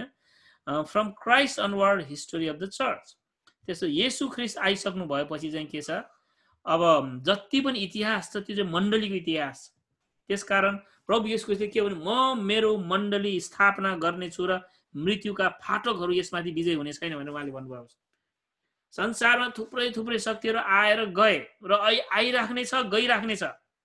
तर मण्डलीमाथि कहिले पनि विजय हुने छैन। चर्च विल अलवेज सर्भाइभ हामीले सबै यो टिचिङहरू गर्दाखेरि हामीले एकदम चर्चलाई फोकस गर्ने कारण किन भनेदेखि एउटा इटर्नल इन्स्टिट्युसन भनेको चर्च हो। तपाईँ रेड क्रसको मेम्बर हुनुहुन्छ भने एक दिन रेड क्रस हुँदैन यो संसारमा। तपाईँ कुनै एउटा कम्पनीमा तपाईँ काम गरिराख्नु भएको छ भने एक दिन त्यो कम्पनी बन्द हुनेछ। तर गड्स पिपल मण्डली चाहिँ के छ प्रकाशको पुस्तकमा पनि छ। मण्डली चाहिँ के छ? परमेश्वर is a body of Christ temple of God परमेश्वरको परमेश्वरको के छ? म मन्दिर भएको कारणले गर्दाखेरि चर्च एउटा चाहिँ सधैँ सधैँ सधैँ रहन्छ। त्यस कारण मैले कतिपटक वचनहरू गर्दाखेरि हामी अब हाम्रो चर्चहरू कहिले एकदम फुटाउँदै परमेश्वरको राज्य आओस् भन्दै हामी आफ्नै राज्य बनाउन बनाउनु खोज्दाखेरि चाहिँ मण्डली फुट्छ क्या अनि मलाई मण्डली फुटा फुटाल्यो भने एकदमै बोर लाग्छ। कहिले रिस पनि उठ्छ होइन? त्यस कारण हाम हामीले we should be against church division हामी चाहिँ मण्डली फुट्नेको विरुद्धमा हुने कारण चाहिँ किनभने this is an eternal institution is planted by founded by Jesus Christ himself यसु ख्रिस्ट स्वयंले के गर्नुभएको हो स्थापना गर्नुभएको हो कुनै पनि मान्छेले यो मण्डली मैले स्थापना गरेको भनेर हामी पास्टरहरूले कहिले हाम्रो मनमा यो आउनु दिस इज नट ट्रु मण्डली हामीले स्थापना गर्नुभएको होइन के छ? मण्डली प्रभु येसु ख्रिस्टले स्थापना गर्नुभएको हो। ल अब यो भएकोले गर्दाखेरि अब ओभरभ्यूमा यसो जाँदाखेरि के छ भनेदेखि पुरानो करारमा र नयाँ करारमा पुरानो करारमा उन्चालिसवटा किताब छ नयाँ करारमा सत्ताइसवटा छ पाँचवटा पहिलो पाँचवटा पुस्तकलाई बुक अफ ल भनेर भन्छ होइन? व्यवस्थाको पुस्तक भनेर भन्छ त्यो उत्पत्ति प्रस्थान लेबी गन्ती व्यवस्था। अनि यो चाहिँ के छ हामीले बुझ्नुपर्ने जब तपाईँले यो पढ्नुहुन्छ भनेदेखि यो चाहिँ इजरायलीहरूको निम्ति उनीहरूको एउटा व्यवस्था हो। व्यवस्था भनेको अहिले हामीले हाम्रो व्यवस्था थुप्रै कुराहरू पुरा भइसकेको छ कतिवटा कुराहरू पुरा हुन बाँकी छ। त्यसमा सबै कुरा पुरा भइसकेको छैन। कतिवटा कुराहरू पुरा हुन बाँकी छ। तर बा तर के हो भनेर भन्दाखेरि चाहिँ यो के छ इजरायली जातिलाई परमेश्वरले दिनुभएको एउटा चाहिँ के हो व्यवस्था हो कानुन हो। ल भनेको हाम्रो नेपाल देशको आफ्नै कानुन छ अमेरिकाको आफ्नै कानुन छ होइन। कतिवटा कानुनहरू चाहिँ के छ अमेरिकामा थुप्रै कानुनहरू बाइबलबाट निकालेको छ। यो व्यवस्थाको पुस्तकबाट निकालेको छ। अनि त्यसपछि हिस्टोरिकल बुक टुवेल्भ भनेको चाहिँ ऐतिहासिक यो सुखदेखि लिएर इतिहास दोस्रो इतिहाससम्म हामीले हेऱ्यौँ भनेदेखि के छ? हिस्टोरिकल बुक छ। एजरा डेहेमे स्तरलाई पनि सायद यसैमा राख्नुपर्ने हुन्छ। यो इतिहासमा चाहिँ अब परमेश्वरले कसरी यो उहाँ प्रभु यसको नयाँसम्म कस्तो कस्तो चरण भएर गयो कस कसो मान्छे भयो? अनि यो हिस् यो इतिहास हामी बुझ्दाखेरि चाहिँ के थाहा पाउँछौँ भनेदेखि हामीले यो किन पढ्ने त पुरानो करारको इतिहास भन्दै भन्दाखेरि यो अब्राहमलाई परमेश्वरले छान्नु हुँदाखेरि अब्राहमलाई मात्र छान्नु भएको छैन। उहाँले चाहिँ के छ मानिस जातिलाई सँग उहाँले के चाहनुहुन्छ? How God wants to have relationship with people परमेश्वरले मानिसहरूसँग कस्तो सम्बन्ध कस्तो छ भन्ने कुरा चाहिँ त्यो इतिहासमा हामीले जब हेर्छौँ भनेदेखि हामीले के थाहा पाउँछौँ? परमेश्वर र मानिसको सम्बन्ध बुझ्छौँ। कहिले परमेश्वरले खुसी हुनुहुन्छ कुन कुराले परमेश्वरलाई खुसी हुनु हुनुहुन्न जस्तै हाम योभन्दा अगाडि हामीले दाउदको बारेमा हामीले हेऱ्यौँ होइन। दाउद सामेलको बारेमा कस्तो मान्छेले परमेश्वरले प्रेम गर्ने रहेछ? साउल र दाउद दुईवटा हामीले एकदमै धेरै समय बितायौँ। तपाईँ र म साउल जस्तो भयो भनेदेखि परमेश्वरलाई एकदमै मन नपर्ने मान्छे रहेछ। तर तपाईँहरूमा दाउद जस्तो भयो भने चाहिँ के छ? परमेश्वरले मन पराउनु रहेछ। कतिवटा पापै गरे पनि हामी पश्चाताप गरेका छौँ भनेदेखि तर हाम्रो मन दाउदको जस्तो छ भनेदेखि गड परमेश्वरले हामीले प्रेम गर्नुहुन्छ भन्ने कुरा कहाँबाट थाहा पाउँछौँ? यो इतिहासबाट थाहा पाउँछौँ। त्यसपछि हामी चर्चमा एकदमै गीतहरू गाइरहेको हुन्छौँ। होइन किन भजन गाउनुपर्ने क्रिस्चियनले भने चाहिँ मनमा लाग्ला। परमेश्वरले के छ? पुरानो करारमै भजन सङ्ग्रह भनेर जति छ नि भजन सङ्ग्रह भनेको अहिले हाम्रो गीत सङ्ग्रह कोरस सङ्ग्रह भनेको जस्तै हो। हामीले भजनको किताब भनेको जस्तै इजरायलीहरूको भजनको किताब चाहिँ भजन सङ्ग्रह हो। उनीहरूले गाउने किताब उनीहरूको त्यसकारण छन्द मिलाएर राखेको छ। अब ए हिब्रूबाट इङ्ग्लिस हुँदै अब नेपाली हुँदै आउँदाखेरि अब कतिवटा त लय मिल्दैन। होइन गीत जस्तो छैन तर त्यो सबै गीत हो। अनि पाँचवटा किताब किताब छ। अयुबको पुस्तक पनि गीत हो खास भन्ने हो भनेदेखि। अयुबको पुस्तक पनि के हो? गीती नाटक जस्तै भनौँ गीत लेखेको हो। अनि अयुबदेखि लिएर अयुब भजन सङ्ग्रह हितोपदेश उपदेशक र श्रेष्ठ गीत। यो पाँचवटा पुस्तकलाई चाहिँ के भन्छ? पोइटिक बुक एउटा कवितात्मक पुस्तक भनेर भन्छ। त्यसले चाहिँ भन्नु खोजेको मतलब अघि हाम्रो पास्टर राजनज्यूले मजाले गीत गाउनु भयो होइन? परमेश्वरले के छ गीतबाट पनि मान्छेलाई छुनुहुन्छ। हाम्रो इमोसन हामी भित्र भएको इमोसन कहिलेकाहीँ के छ गीतले पनि प्रस्फुटन हुन्छ। परमेश्वरप्रतिको हाम्रो प्रेममा हामी गीतहरू लेख्न सक्छौँ। होइन? यो गीत पनि महत्त्वपूर्ण छ भन्ने कुराहरू छ भनेदेखि अर्को चाहिँ के छ प्रोफेटिक बुक भनेर एउटा भविष्यवाणीको पुस्तकहरू छ जुन सत्रवटा छ होइन? यसै हेर्मियादेखि लिएर मलाकीको पाँचवटा मेजर छ पाँचवटा माइनर भन्छ। मेजर र माइनर भनेको चाहिँ मुख्य र सानो भनेको लागे पनि तर यो भनेको चाहिँ धेरै महत्त्व र थोरै महत्त्व भनेको होइन। यो भनेको चाहिँ मोटाइमा धेरै र मोटाइमा थोरै भनेको। उनीहरूको ओरिजिनल स्क्रोलमा के छ भनेदेखि यो मेजर प्रोफेट एसआई एर्मिया बिलाप इजकियल दानियल यिनीहरू चाहिँ के छ एउटा मुठामा छ भनेदेखि यो बाह्रवटा होसे योयल आमोस ओबदिया योना मिकाहरू चाहिँ के छ मलाकीसम्म यो छुट्टै मुठामा छ सानो सानो भएको त्यो सानो छ। त्यस कारण उनीहरूले भनेको मोटो किताब भएको अगमवक्ता र अलि सानो अगमवक्ता भनेको त्यो सेन्समा हो। महत्त्वपूर्ण के छ? दुइटै महत्त्वपूर्ण छ। It's not big and small. यो चाहिँ के छ? कुनै लामो अगम अगमबानीको पुस्तक र छोटो अगमबानीको पुस्तक भने यो खास चाहिँ। मेजर र माइनर भनेको चाहिँ। यो चाहिँ एकदम मेजरै अगमवक्ता रहेछ यसैया। अनि यो के छ? होसे चाहिँ मेजर होइन रहेछ भन्नु खोजेको होइन। परमेश्वरको अगमवक्ता सबै मेजर हो। तर के छ? यसैयाले लेखेको अगमवक्ताको पुस्तक चाहिँ के छ? लामो छैसठीवटा पुस्तक छ भनेदेखि होसेले लेखेको पुस्तक बाह्र तेह्र तेह्र चौधवटा कतिवटा अध्याय छ। छोटो छ भनेर भन्नु खोजेको। अनि त्यसै गरेर नयाँ करारमा हामी हेऱ्यौँ भनेदेखि चारवटा चाहिँ पुस्तक छ। सुसमाचारको पुस्तकहरू भन्छ जसले चाहिँ येसु ख्रिस्टको सुसमाचार होइन? यसु ख्रिस्ट के गर्नुभयो के बोल्नु भयो र उहाँ को हुनुहुन्छ भन्ने कुरामा छ। यसु ख्रिस्ट को हुनुहुन्छ भन्ने कुरामा यसु ख्रिस्टले के भन्नुभयो भन्ने विषयमा यसु ख्रिस्टले के गर्नुभयो भन्ने विषयमा विषयको र यसु ख्रिस्टले के सोच्नु भयो भन्ने विषयमा चाहिँ के छ? चारवटा सुस मत्तीले उहाँले के भन्नुभयो? मर्कुसले उहाँले के गर्नुभयो? लुकाले पनि यो विशेष गरेर उहाँले के गर्नुभयो भन्ने कुरामा छ भनेदेखि युहुन्नाको सुसमाचारले चाहिँ उहाँ को हुनुहुन्छ? उहाँको भित्रको कुराहरू चाहिँ देखाउँछ। अनि प्रेरितको पुस्तकले के छ एउटा हिस्टोरी भनेको एउटा प्रेरितको पुस्तकलाई हिस्टोरी भनेर भन्छ होइन नयाँ करारको। त्यो चाहिँ के छ पा अनि मण्डलीको एउटा कसरी भयो? यदि प्रेरितको पुस्तक नभएको भए हामी कसरी यसु ख्रिसबाट चर्च आयो भन्ने कुरा हामीलाई थाहा नै हुँदैन। त्यसकारण के छ परमेश्वरले यो लुका भन्ने एकजना डक्टरलाई प्रयोग गर्नु भएर लुकाको सुसमाचार र प्रेरितको पुस्तक चाहिँ लेखेको छ। अनि एक्काइसवटा पत्रहरू छ। पावलले लेखेको तेह्रवटा छ एउटा हिब्रूको पत्र छ। कतिजनाले पावलले भन्छ कतिजनाले होइन भन्छ। तर अनि अर्को सातवटा चाहिँ के छ? अरू जेनरल एपिसल भनेर भन्छ र एउटा प्रोफेटिक छ। त्यो चाहिँ के छ? प्रकाशको पुस्तक छ। ल यति नै राखौँ होला। अब यसमा जाँदाखेरि विभिन्न कुराहरू आउन सक् सक्छ। यसको बारे अझै हामी हेर्दै जानेछौँ तर मुख्य कुरा चाहिँ तपाईँ र मैले बुझ्नुपर्ने कुरा के छ जब हामी परमेश्वरको वचन भनेर भन्छौँ भनेदेखि सम्पूर्ण बाइबल जब भनेर भन्छौँ भनेदेखि त्यो चाहिँ के छ? उत्पत्तिदेखि लिएर प्रकाशसम्मको छ।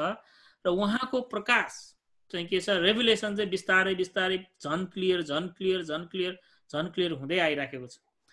अनि तपाईँ र म पास्टर अगुवा इभन विश्वासीहरू पनि हाम्रो लक्ष्य हाम्रो गोल चाहिँ के छ भनेदेखि परमेश्वरले दिनुभएको प्रकाशलाई हेर्ने हो।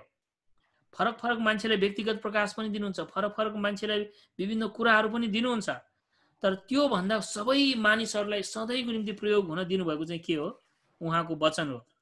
पास्टर र अगुवाहरू तपाईँ र हाम्रो बोलावट चाहिँ परमेश्वरको वचनमा मेहनत गर्नको लागि बोलाएको के छ? हाम्रो बोलावट त्यो हो? त्यसकारण हामीले के गर्नुपर्छ? मेहनत गर्नुपर्छ। परमेश्वरको वचनमा मेहनत गर्नुपर्छ।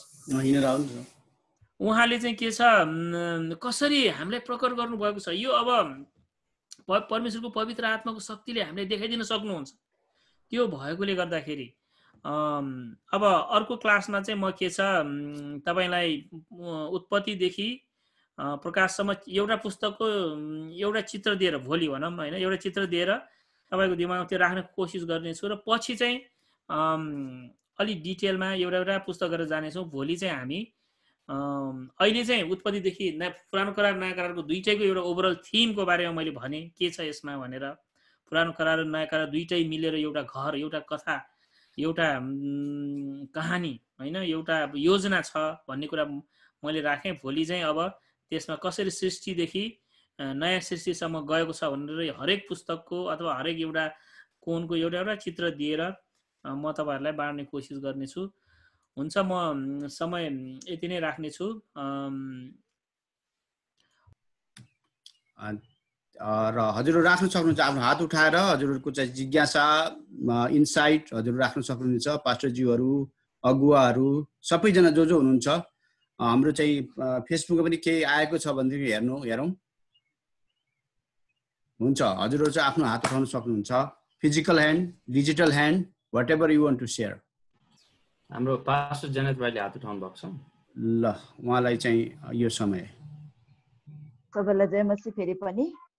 र अहिलेको टिचिङमा जुन कुरा बाइबलको बारेमा हामीले सिकिराखेको छौँ मेरो चाहिँ प्रश्न छ अनि त्यो प्रश्न चाहिँ के हो भन्दाखेरि अहिले बुक अफ एनोकको बारेमा धेरै चर्चा भइराखेको छ नि यहाँनिर धेरै तर्क वितर्कहरू पनि भइराखेको छ नि यो विषयमा चाहिँ अलिकति डक्टर मनोजज्यूले अलिकति क्लियर पारिदिनुहुन्छ कि भनेर किनभने आम विश्वासी चाहिँ अब यो बुक अफ एनोक चाहिँ बाइबलकै हिस्सा हो कि होइन भन्ने कुरामा धेरै कन्फ्युज भइराखेको छ नि यसको बारेमा अलिकति जानकारी। म्युट रहेछ। हुन्छ धेरै धन्यवाद हाम्रो पास्टर जेनेटलाई मेरो विचार अब यसो कन्फ्युजनहरू आइरहेको छ तर हाम तपाईँको बाइबलमा छ कि छैन? छैन भनेदेखि होइन। हामीले गर्नुपर्ने अब विभिन्न मान्छे एउटा एउटा कुरा गरेर ल्याउँछ त्यस्तो फरक फरक मान्छेको फरक फरक शिक्षा हुन्छ कि? उसले भन्नु खोजेको कुराहरू बाइबलमा पाएन अन्त पायो भनेदेखि यो पनि हो भनेर ल्याउँछ। अनि झुटो शिक्षाहरू आउने चाहिँ त्यसरी हो। त्यस कारणले गर्दाखेरि बुक अफ एनोक चाहे जेसुकै होस्। अब हामी व्रत जान्ने हुनै पर्दैन। होइन परमेश्वरको दासहरूले जुनसँग ओरिजिनल कन्टेन्ट हुनेहरूले एकदमै धेरै शिक्षा गरेर घोतलिएर सयवटा भन्दा बढ्ता स्ट्यान्डर्ड गरेर उहाँले हाम्रो सामने राखिसक्नु भएको छ र त्यसमा छैन। अनि हामी चाहिँ अब त्यो कुरामा फेरि नजाउँ। अनि सिम्पल आन्सर चाहिँ बाइबलमा भएको छैसठी पुस्तक बाहेक अरू कुनै पनि पुस्तक चाहिँ बाइबल परमेश्वरको वचन पूर्ण रूपले होइन भन्ने कुरा हामी चाहिँ मान्छौँ। थ्याङ्क यू सो मच हस् त्यसपछि हाम्रो हात उठाउनु भएको छ हाम्रो पास्टर डेनियलले।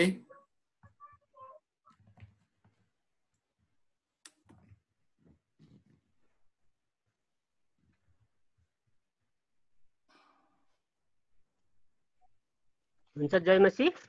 जयमसी। अँ, आजको क्लास धेरै राम्रो लागेको छ धेरै कुराहरू सिक्ने मौका पाएको छौँ। र एउटा क्वेसन चाहिँ के छ भने अब पुरै ओभरभ्यू बाइबललाई हेर्दाखेरि जति पुरानो नियमका कुराहरू हाम्रो जीवनमा अहिलेको समयमा एप्लाई गर्नलाई हामीलाई शिक्षाको निम्ति छन् र विशेष गरी यो प्रकाशको पुस्तकमा चार अध्यायदेखि उता चाहिँ कति मण्डली उठाइसकेपछिको कुरा हो भन्ने कुराहरू कति आउँछ। अनि त्यहाँको त्यो वचनहरूलाई हामीले कसरी अहिलेको समयमा पनि एप्लाई गर्न सकिन्छ कि या त्यो पछि हुने कुराको मात्रै लिन सकिन्छ भन्ने एउटा जिज्ञासा छ। ए हुन्छ धन्यवाद। परमेश्वरको वचन चाहिँ हाम उहाँले दिनुभएको कुरा पहिला दिनुभएको कुरा आज दिनुहुने कुरा र भोलि दिनुहुने कुरा सबै नै उपयोगी छ। होइन हामीले चाहिँ यो भोलिको लागि अहिले गर्नु पर्दैन भन्ने कुरा हुँदैन। उहाँले चाहिँ हामीलाई के छ प्रकाशको पुस्तक चार अध्यायदेखि अठार उन्नाइस अध्यायसम्म चाहिँ त्यो एउटा चाहिँ पृथ्वीमा चाहिँ महासङ्कष्टकाल तर मण्डली चाहिँ ऱ्याप्चर भएर माथि जाने अवस्थामा छ। अनि त्यतिखेर त्यतिखेर चाहिँ के छ पृथ्वीमा यस्तो दुःख हुँदाखेरि त्यो कुराले हामीले त्यो दुःखबाट बच्ने हो भनेदेखि हामी चाहिँ के गर्नु पर्यो विश्वास गर्नु पर्यो भने झन् हामीले काम गर्न सक्ने हुन्छ अब त्यही आज्ञा पालन भन्दा कतिवटा आज्ञा पालन कतिवटा चेतावनी हुन्छ यस्तो नगर यस्तो गर्यो भने यस्तो हुन्छ भन्ने कुराहरू चाहिँ आउने हुन्छ। त्यसकारण सबै नै छ तर बाइबलमा लेख्यो भनेको यहाँ उसले यो गर्यो मैले पनि गर्ने भन्ने हिसाबले होइन कतिवटा कुरा चाहिँ गर्ने कतिवटा चाहिँ नगर्ने। उसले यो गर्यो त्यस कारण नगर्ने। उसले यो गरेको कारणले गर्दा ऊ पापी भयो उसलाई परमेश्वरले त्यागिदियो त्यसकारण हामी नगर्ने। एउटा आउँछ नि बाइबलमा कतिपटक ओहो तिमीहरूको बाइबलमा यस्तो पनि लेखा रहेछ भन्दाखेरि हामी चाहिँ लुकाउनु खोजे जस्तो त्यो त्यो नगर भने जस्तो हुन्छ। हो हामी भन्नु त्यो छ। अनि परमेश्वरले के गर्यो? देखाउनु भएको हामी मा पापी मान्छे कस्तो छ? त्यो गर नगर भनेर चाहिँ बाइबलमा चाहिँ के छ? लेखेको छ भनेर हामीले देखाउनु पर्छ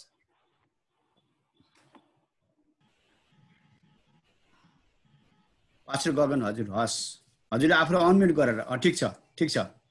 जय मसी सबैजनालाई विशेष गरेर मेरो प्रश्न चाहिँ हाम्रो आजको हाम्रो टिचर पास्टर मनोजज्यूलाई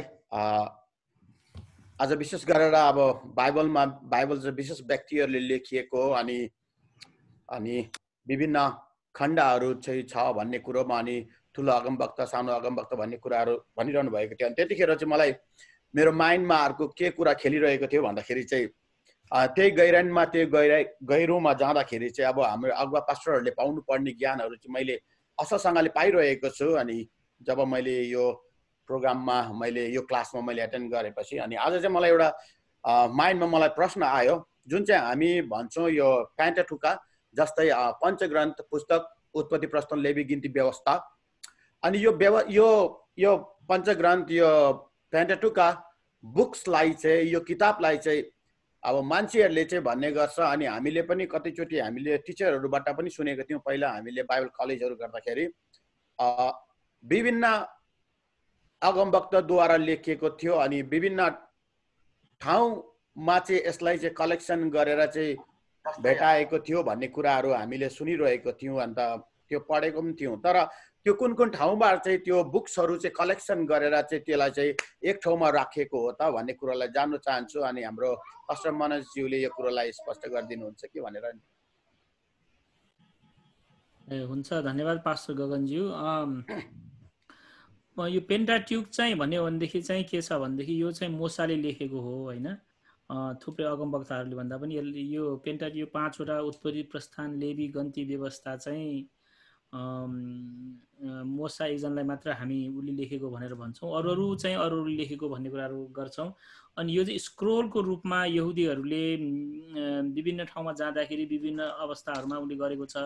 कतिवटा तपाईँले डेड सी स्क्रोल भन्ने सुन्नुभएको होला। तर मुख्य कुरा चाहिँ अब विभिन्न ठाउँबाट भन्दाखेरि पनि हामीले यसमा बुझ्नुपर्ने कुरा के छ भने विभिन्न कपिजहरू पहिला प्रेस थिएन होइन? पहिला चाहिँ के थिएन? प्रेस नभएको कारणले गर्दाखेरि अब एकजनासँग मात्र भएर त भएन।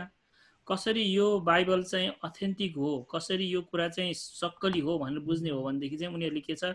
कुनै विभिन्न ठाउँमा भएका कपीहरू त्यो चाहिँ हामीले विभिन्न ठाउँ भन्दाखेरि एउटा एउटा कलेक्ट गरेको होइन कि?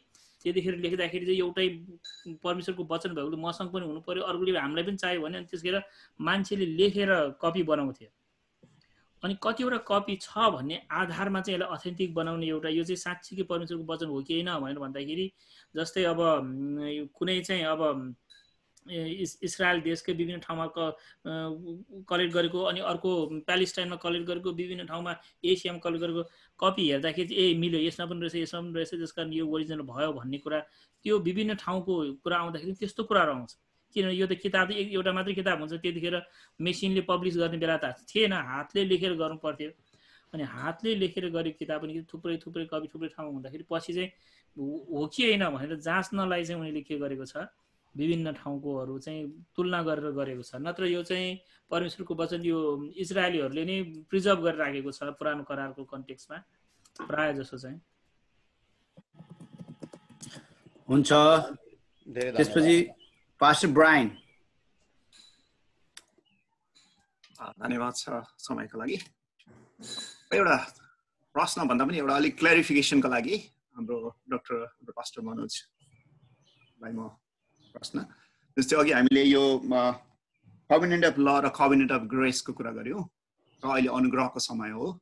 र पनि अहिले कति कुराहरू हाम्रो चर्चमै पनि र अरूतिर देख्दाखेरि अलिकति ओभरल्यापिङ किनभने ग्रेसमा अब क्रिसले चाहिँ व्यवस्था पुरा गर्नुभयो ठिक छ। र पनि अझै सानो सानो कुरा जस्तै एउटा जुन कति कुराहरू खानुपर्ने कुराहरू नखानुपर्ने कुराहरू जस्तै यहाँनिर प्रेरितको पुस्तक दसको जुन पत्रुसले एउटा भिजन देखेको कुराहरू अनि चार खुट्टे जनावर र घस्रने प्राणी र आकाशको चराचुरुङ्गीहरू आएको र मारेर खाऊ भन्ने कुराहरू उहाँले देख्नुभयो अनि त्यसले गर्दा उहाँ चाहिँ धर्म गरेर उहाँ एउटै हुनुभयो अ, जेन्टाइल्ससँग त्यो पनि एउटा परमेश्वर तर यो खाने कुराहरूमा विशेष गरी यसमा अझै पनि पुरानो करारलाई कतिवटा पास्टरहरू अथवा चर्चहरूले रेफर गरेर यो खानु हुन्छ यो खानु हुँदैन भन्ने कुराहरू अझै पनि क्लियर नभएको भन्ने देखिन्छ। र यो खाने कुरामा चाहिँ अब हामीले मेरो विचारमा त अब यो सबै जे खाँदा पनि आफ्नो इच्छा हो जस्तो लाग्छ। र पनि यसमा अलिकति यो चर्चा भएकोले गर्दाखेरि अलिकति यसलाई क्लियरिफिकेसन पाउँदाखेरि कतिहरूलाई दुविधामा परेकोलाई अलिकति स्पष्ट हुन्थ्यो कि भन्ने मेरो विचार। धन्यवाद। ए हस् धन्यवाद। यो एकदमै एकदम महत्त्वपूर्ण प्रश्न हो होइन? यसमा चाहिँ अब पुरानो करारको समयमा र नयाँ करारको समयमा हामीले के फरक पाउन सक्छौँ भनेदेखि पहिला सुरु किन छ खाने र नखाने भन्ने कुरा हामीले बुझ्नु पर्यो होइन। एक नम्बर किन परमेश्वरले यो खाऊ शुद्ध र अशुद्ध भनेर किन राख्नुभयो भनेदेखि पुरानो करारको समयमा चाहिँ तपाईँ कसरी शुद्ध हुने भन्दाखेरि यो यो चिज खाने शुद्ध यो चिज खाने अशुद्ध। खाने मात्र होइन लाउने पनि छ। आज लाउने त्यति कुरा गर्दैन होला। पुरानो करारको समयमा चाहिँ तपाईँले दुई दुई किसिमको लुगाहरू नै मिसाउनु मिल्दैन। तपाईँले के छ त्यो अशुद्ध हुन्छ त्यो नगर भनेर भनेको छ। अनि पुरानो करारमा त्यो भन्नुको कारण चाहिँ किन भनेदेखि मान्छेलाई चाहिँ त्यो सेन्सिटिभ बनाउन शुद्ध र अशुद्ध कुरा छ। शुद्ध र अशुद्ध मात्रै छ भनेर भन्दा मात्रै हामीले त थाहा नै हुँदैन के हो शुद्ध के हो अशुद्ध। होइन? भन्दाखेरि यो खाऊ यो खानु हुँदैन भन्दाखेरि मान्छेले त्यो कन्सियस भयो। तर परमेश्वरले नयाँ करारमा आइसकेपछि त्यही तपाईँले भन्नुभएको पदमा पनि के छ जुन कुरालाई मैले शुद्ध पारिसकेको छु त्यो कुरालाई तिमीले अशुद्ध नठान भनेर त्यही ख खण्डमा पनि भनेको छ नि होइन? परमेश्वरले चाहिँ के छ? अब नयाँ करारमा आइसकेपछि पुरानो करारमा जुन कुराले मान्छे शुद्ध हुन्थ्यो त्यो चाहिँ के छ? खाने नखाने लाउने नलाउने व्यवस्था पालन गर्ने नगर्नेले एकजना मान्छे परमेश्वरको दृष्टिमा स्वीकार हुने र नहुने त्यो थियो भनेदेखि नयाँ करारमा प्रभु यस क्रिस्टमा चाहिँ अब त्यो चाहिँ छैन। अब चाहिँ तपाईँले खाने र नखाने तपाईँ शुद्ध हुँदैन। अब यो अर्को एउटा पद म तपाईँलाई भन्न चाहन्छु। मत्ती पन्ध्रको एघारमा तपाईँले हेर्नुभयो भने पर प्रभु येशू ख्रिस्टले के भन्नुभएको छ भनेदेखि मत्ती पन्ध्रको एघारमा एकदम स्पष्टसँग यो शुद्ध र अशुद्धको कुरा हो। मत्ती पन्ध्रको एघारमा चाहिँ के लेखेको छ भनेदेखि यहाँ यसरी लेखेको छ दस पददेखि पढ्छु। उहाँले मानिसहरूलाई आफू कहाँ बोलाउनु भयो र तिनीहरूलाई भन्नुभयो सुन र बुझ। जे मुखभित्र पस्दछ त्यसले मानिसलाई अशुद्ध पार्दैन।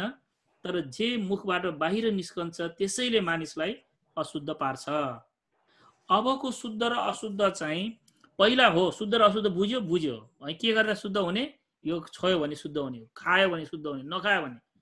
अन्त अब त्यो बुझिसकेपछि अब चाहिँ हेर छोएर नछोएर खाएर नखाएर खाएपछि सबै खान्छ पच्छ। यो खाने नखाने होइन। कुनै अब अलिकति हेल्दी होला कुनै हेल्दी नहोला त्यो आफैले विचार गर्नु पर्यो होइन? तर शुद्ध र अशुद्ध परमेश्वरको लागि तपाईँ स्वीकार हुने र नहुने चाहिँ अब तपाईँले के खाएर के लायो भन्नेमा होइन। अब तपाईँको मुख के चिज खाएर मुख के चिज मुखभित्र जान्छ होइन के चिज तपाईँको मुखबाट बाहिर आउँछ। अब तपाईँले चाहिँ कसैलाई गाली गर्नुभयो भने त्यो चाहिँ पर- परमेश्वरको निम्ति के हो? अशुद्ध हो। कसैलाई श्राप दिनुभयो भने त्यो चाहिँ अशुद्ध हो।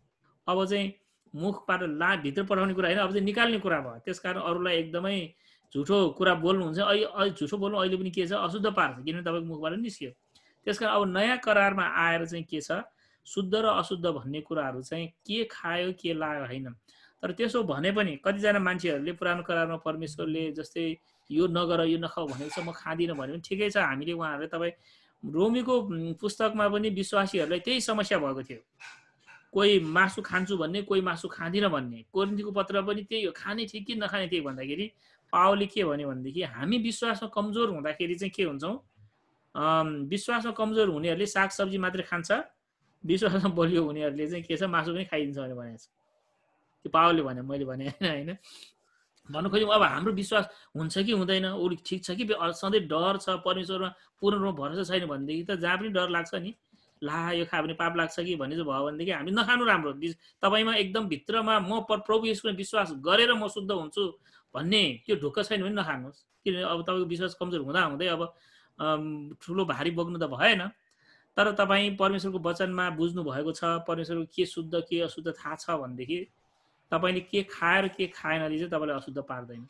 स्वास्थ्य र अस्वास्थ्य चाहिँ पार्न सक्छ। फिजिकल्ली तपाईँलाई गर्न सक्ला धेरै नै अब बोसेदार खाना खायो भनेदेखि त अब के त्यसले हाम्रो होइन के के ब्लड प्रेसर के केमा गर्न सक्ला। तर आत्मिक रूपमा चाहिँ ठिक छ। परमेश्वरले तिमी त चाँडै आयो त प्रभुको राज्यमा भनेर झन् हुनसक्छ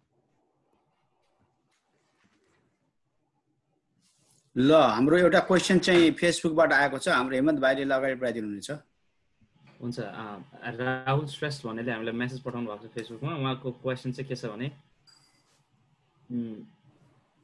मलाकीदेखि मत्तीको पुस्तकसम्म चाहिँ करिब चार सय वर्षको एउटा ग्याप छ। How did God work in this gap we don't see God's word there भनेर उहाँले सोध्नुहुन्छ। ए धन्यवाद। मलाकीदेखि मत्तीको पुस्तकसम्म हामीले हेऱ्यो भनेदेखि परमेश्वर बोल्नु भएको छैन। उहाँले काम गर्नुभएको त कतिवटा काम त हामीले देख्दैन। राति तपाईँले राति आँखा खोलेर हेर्नुभयो भने देख्नुहुन्छ होला। तारा यस उहाँको संसार चाहिँ हाम्रो संसार मात्र होइन। उहाँ परमेश्वर भनेको सारा ब्रह्माण्डको परमेश्वर हुनुहुन्छ। उहाँले के गर्नुहुन्छ भन्ने कुरा हामीलाई अन्दाज नै थाहा छैन होइन? तर कहिलेकाहीँ परमेश्वर चुपचाप बस्नुहुन्छ कि तपाईँलाई याद छ पिलातसको सामुने प्रभु यस प्रभु यशुलाई पिलातसले सोधेको थियो तै होइन त राजा? भन्यो भन्दाखेरि प्रभु यशुस के थियो? त्यसले चुपचाप बस्नुभयो। जब सुन्ने मान्छेले महत्त्वसँग दिएर सुन्दैन भनेदेखि हामीलाई त बोल्नु मन लाग्दैन भने परमेश्वर किन बोल्नुहुन्छ? मलाकीको समयसम्म मान्छेहरूको आत्मिक अवस्था यस्तो खराब भइसकेको थियो। परमेश्वरको वचन आयो भने कहिले सुन्नेवाला थिएन।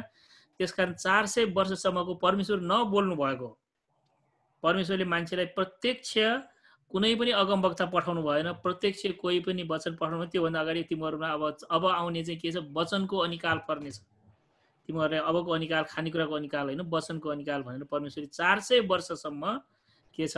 उहाँ कोहीसँग पनि बो नबोल्नु भएको समय हो। त्यसलाई इन्टर टेस्टामेन्टल पिरियड पनि भनेर भनिन्छ होइन।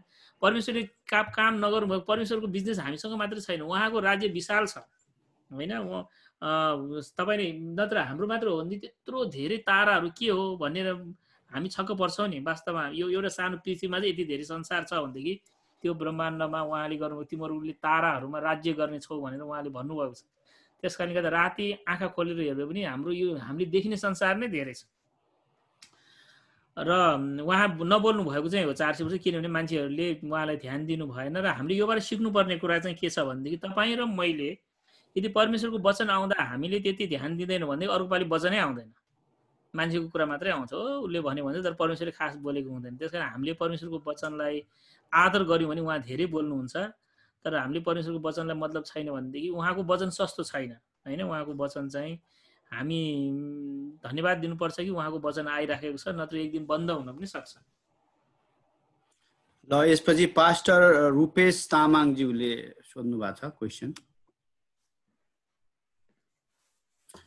हजुरहरूले आफ्नो सानो परिचय पनि दिँदा हुन्छ है। तपाईँहरू कहाँबाट हुनुहुन्छ? पास्टरजीहरू क्वेसन राख्दाखेरि you can introduce yourself हाम्रो बिचमा पास्टर नरु पनि हुनुहुन्छ है अर्जुन दाजु उहाँ।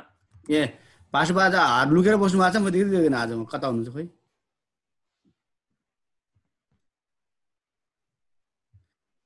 आवाज आएन तपाईँको। ठिक छ म यता अर्कोमा पनि छु यहाँ। होइन होइन पास्टर यहाँ हाम्रो पर्सनल राख्ने पास्टरबालाई भनेको। ए ओके।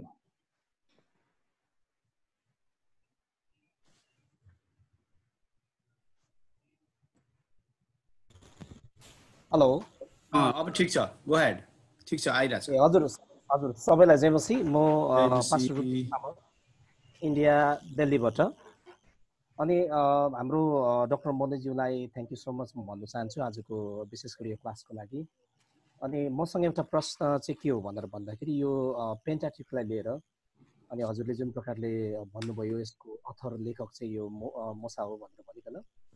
अनि मेरो प्रश्न चाहिँ के यस यो पेन्टाट्युकको यो पाँचवटा पुस्तकको लेखक चाहिँ केवल मोजेस मात्रै मसा मात्रै हो कि अरू अदृश्य अरू पनि लेखकहरू हुनुहुन्छ कि यो भित्र किनभने यो गन्ती बाह्र अध्यायको तिन पद पढ्दाखेरि मसाले यसरी भन्छ यहाँनिर है मसा चाहिँ पृथ्वीमा सबैभन्दा विनम्र व्यक्ति थिए भनेर यहाँनिर लेखिएको छ।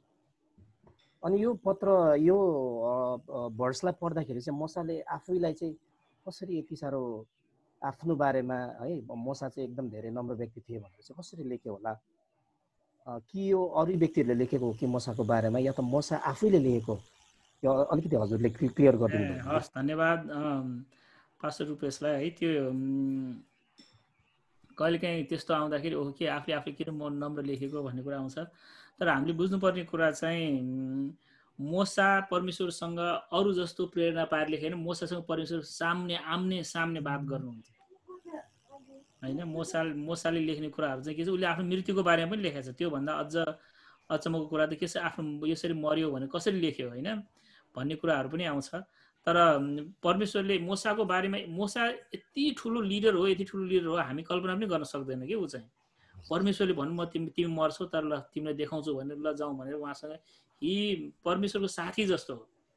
साथीलाई तिमी लेख भयो म त लेख्दिनँ भनेर तै पनि ले होइन लेख लेख भनेर परमेश्वर लेखाउनु भयो जस्तो लाग्छ क्या मलाई तिमी हो होइन त्यस कारणले गर्दाखेरि परमेश्वरले मोसालाई त आवाज सुन्ने गरेरै भन्नुहुन्छ नि त बच्चा किनभने त्यो यो चाहिँ एउटा कन्स्टिट्युसन हो त्यो इजरायलीहरूलाई दिनको लागि। त्यस कारणले गर्दाखेरि उस उसको अनुभवमा होइन उसले त्यहाँनिर रिसाएको पनि छ। दुईचोटि परमेश्वरको लेखेको कुरा उसले पहिला ओरिजिनल त उसले बिगारिदियो उसले डङ्गा ढुङ्गा फुटालेर होइन।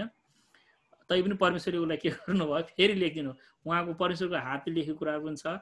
अनि परमेश्वरसँग त्यो भएको कारणले गर्दाखेरि हामीले के विश्वास गर्छौँ भनेदेखि त्योसँग भएको त्यो चाहिँ किन पर मोसाको आफ्नो कुरा होइन नि त त्यो व्यवस्था। उसले चाहिँ म किताब लेख्छु भने लेखेको होइन तर उसले परमेश्वरको वचन लेखेको हो। त्यस कारणले गर्दाखेरि गड इज टिचिङ समथिङ मैले तिमीलाई ठुलो लिडर किन बनायो भने तिमी चाहिँ सबभन्दा नम्र भएकोले गर्दाखेरि हो। होइन त्यो तिमी जस्तो नम्र कोही राजकुमार जस्तो मान्छे के छ? तिमीले आफ्नो मान्छेको लागि त्यो सबै त्यागिदियो। There was no other humble person than Moses परमेश्वरले भन्नुभयो मोसालाई अनि मोसाले म हुँ भने लेखेन थर्ड वचनमा लेखिदियो। परमेश्वरले भन्नुभएको कारणले गर्दाखेरि थर्ड पर्सनमा लेखेको कारण चाहिँ त्यो हो। किनभने ल लेख यो भन्नु भन्दाखेरि उहाँले चाहिँ लेख्नुभयो। थ्याङ्क यू अरू कसै प्रश्नहरू छ? प्रश्न जिज्ञासाहरू केही छ? पास्टर पावल युकेबाट ल। हजुर। हाम्रो जित दाजुले पनि हात उठाइरहनु देखेँ है मैले। ल त्यसपछि जित दाजु। हुन्छ यहाँलाई फेरि पनि जयमसी विशेष गरी मेरो क्वेसन चाहिँ होइन है आज। इन्साइड मात्रै राख्नु खोजेको। र यो जुन टिचिङ चाहिँ साह्रै प्रेरणादायी लाग्यो मलाई। अनि साथै हामी जस्तो फुल टाइम काम गरेर चाहिँ धेरै पढ्ने जिज्ञासा हुँदा हुँदै पनि समयले गर्दाखेरि हामीले चाहिँ यो कलेज युनिभर्सिटी जोइन गर्न पाएको छैन। धेरै इन्ट्रेस्ट थियो बाइबल ट्रेनिङ मोर उ गर्नको लागि। र अनि यो चाहिँ हाम्रो लागि चाहिँ धेरै प्रेरणादायी भएको कारणले अब यसलाई चाहिँ एउटा प्याकेजमा अथवा एउटा कस्तो भने एउटा सिस्टममा राख्न पाएदेखि अलि लङ टर्म एउटा सर्टिफिकेट लेभलको त्यो गर्न पाएदेखि धेरै राम्रो हुन्थ्यो होला जस्तो मलाई लाग्यो यो चाहिँ मेरो जिज्ञासा है अनि त्यो भयो भने हामीले चाहिँ टाइम सेटिङ गरेर घरमा बसेर पनि यसरी अध्ययन गर्न पाइयो भने धेरै राम्रो हुन्थ्यो अनि अब यसलाई चाहिँ अब एउटा सिस्टममा राखेर हामीले गर्न पाइयो भने अब कति प्याकेजमा कसरी गर्ने त्यो गर्न पायो भने धेरै राम्रो हुन्थ्यो होला जस्तो लाग्यो। अनि अर्को चाहिँ एउटा सानो क्वेसन मात्रै हो। चाहिँ के अरे अहिले खाने र नखाने कुरोको आएको थियो होइन। यसमा चाहिँ म यहाँ युकेमा बसेको धेरै वर्ष भयो अनि पहिला पहिला यहाँ नेपाली हाम्रो सङ्गति पनि थिएन। अनि म गोरा अझै जान्थेँ। म जति नै अब इङ्ग्लिस चर्चहरूमा जान्छु अनि पास्टरहरूले खानाको लागि इन्भाइट गर्नुहुन्छ। अनि गयो त्यहाँ चाहिँ पहिला चाहिँ वाइनको लेभलहरू देखाउनुहुन्छ पास्टरहरूले कुन चाहिँ खान्छस् भनेर सोध्नुहुन्छ। है? अनि हाम्रो नेपाली कल् नेपाली क्रिस्चियन हामी नेपालबाट आएको अनि हामीहरूमा चाहिँ के छ भने यो छुने हुन्न सुँग्ने हुन्न यसलाई चाहिँ खाने हुन्न भनेर चाहिँ हामीले अ, चाहिँ हामीले चाहिँ सिकेर अनि त्यो पुगेर अनि त्यसो चाहिँ प्र्याक्टिकली हामी आएको छौँ। अब यसमा चाहिँ हाम्रो अ, मनु सरले चाहिँ अलिकति केही जानकारी दिनुहुन्थ्यो कि भनेर चाहिँ अब यो गोराहरूले चाहिँ खाना उनी उनीहरू चाहिँ अब हुने अनि हामी नेपालीहरूले खायो भने चाहिँ लो पाक्टो चाहिँ गयो अब सिक्यो अब यो चाहिँ अब खतम भयो अब यसलाई चाहिँ सहरबाट निकाल्न पर्यो अनि कुनै रेकर्डहरू थाहा पायो भने त्यो चाहिँ हुन्छ अब यसको लागि अलिकति केही विस्तृत जानकारी पाउनु पाएदेखि हामीले पनि व्याख्या गर्न सकिन्थ्यो कि भनेर ए हजुर एक नम्बरमा हामीले थाहा पाउनुपर्ने कुरा के छ भनेदेखि खाने र नखानेले केही पनि फरक त पर्दैन तर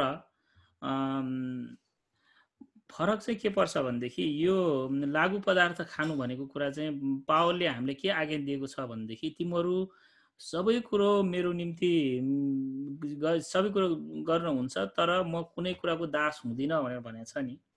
जो मान्छेले रक्सी पिउँछ ऊ रक्सीको दास हुन्छ हुन्छ। उसले भोलि म रक्सी पिउँदिनँ भनेर उसले भन्नै सक्दैन। दाख मध्येले नमातियो भनेर लेखेको छ। वास्तवमा भन्ने हो भनेदेखि यो रक्सीको कुरामा म यहाँको गोरा मान्छेहरू चाहिँ उनीहरूले नबुझ्या भन्छु कि खास चाहिँ? तर उनीहरूले हामीले सिकाउने कुरा त मिलेन होइन? यो खानु हुँदैन भनेर उनीहरूले खानुहुन्छ भनेर भन्छ। उनीहरूले अब ब्यालेन्स गरेर अलिअलि र- अलिअलि त पोइजन खाए पनि मर्दैन नि हामी। अलिअलि त होइन? अलिअलि त खाएर के पनि हुँदैन। तर यहाँ उनीहरूलाई तपाईँले भन्नुहोस् न तपाईँले अलिकति तपाईँ गाडी चढाएर च चलाएर जानुहोस् उसको घरमा भन्नुहोस् तपाईँले मैले रक्सी खुवाउनु त हुन्छ। तर रक्सी खुवाएपछि मेरो परमेश्वरको कुरा छोड्नुहोस्। तपाईँको सरकारले मलाई समात्छ यहाँ। मैले गाडी चलाएर गयो भनेदेखि डियुआई ड्राइभिङ अन्डर इन्फ्लुएन्समा पर्छु र म जेलमा जान्छु। It's a very serious crime होइन तपाईँले रक्सी पिएर गाडी चलाउनु भयो भने तपाईँलाई परमेश्वरको कुरा छोड्नुहोस् मण्डलीले अनुशासन राख्ने छोड्नुहोस् यहाँको सरकारले ठिक पार्छ। त्यो भएकोले गर्दाखेरि जुन कुरा चलाउँदाखेरि तपाईँ एउटा गाडी चलाउन सक्नुहुन्न भने तपाईँले कसरी पवित्र जीवन जिउन सक्नुहुन्छ? होइन हिजो कति एकजना हाम्रो विजय दाजुले कि कसले भन्नुभयो जस्तो लाग्यो? कि नोर्बु सरले हो? कथा म के कथा हो? के भन्छ पाइलटले भनेको थियो अरे नि त होइन? पाइलटले चाहिँ आइएम फुल टाइम पाइलटलाई अलिकति अलिकति रक्सी खाऊ चलाऊ भनेर भन्दाखेरि के छ? म म यसरी फुल टाइम पाइलट भएर म चलाउन खान सक्दिनँ भनेर पाइलटले भनेको जस्तै पास्टर पनि I'm full time in service of God मेरो दिमागमा के छ? परमेश्वरको मात्रै सेवा गरेर हुनुपर्छ। रक्सी खाना छ रक्सीले मेरो दिमागलाई घुमाउँछ। जे सोच्नुपर्ने सोच्दैन जे देख्नुपर्ने देख्दैन। अनि त्यस कारणले गर्दाखेरि म चाहिँ खाँदिनँ भनेर हामी नेपाली विश्वासीहरूले मात्र होइन थुप्रै अमेरिकनहरूले पनि खाँदैन। दुई चारजना खानेहरू चाहिँ अमेरिकामा र यो वेस्टर्नमा दुई किसिमको क्रिस्चियन छ। एउटा भेरी लिबरल एउटा भेरी कन्जर्भेटिभ लिबरलहरू जे गरे पनि चर्च नगए पनि हुन्छ भन्छ उनीहरूले। सोध्नुहोस् उनीहरूले राम्रोसँग चर्च जानै पर्छ त हामी क्रिस्चियनले भनेर सोध्नुहोस् त उसले "हो, जानै पर्छ भन्ने छैन भनेर भन्छ। बाइबल पढ्नै पर्छ भन्ने छ? छैन। सास फेर्नै पर्ने छ? होइन आत्मिक सास?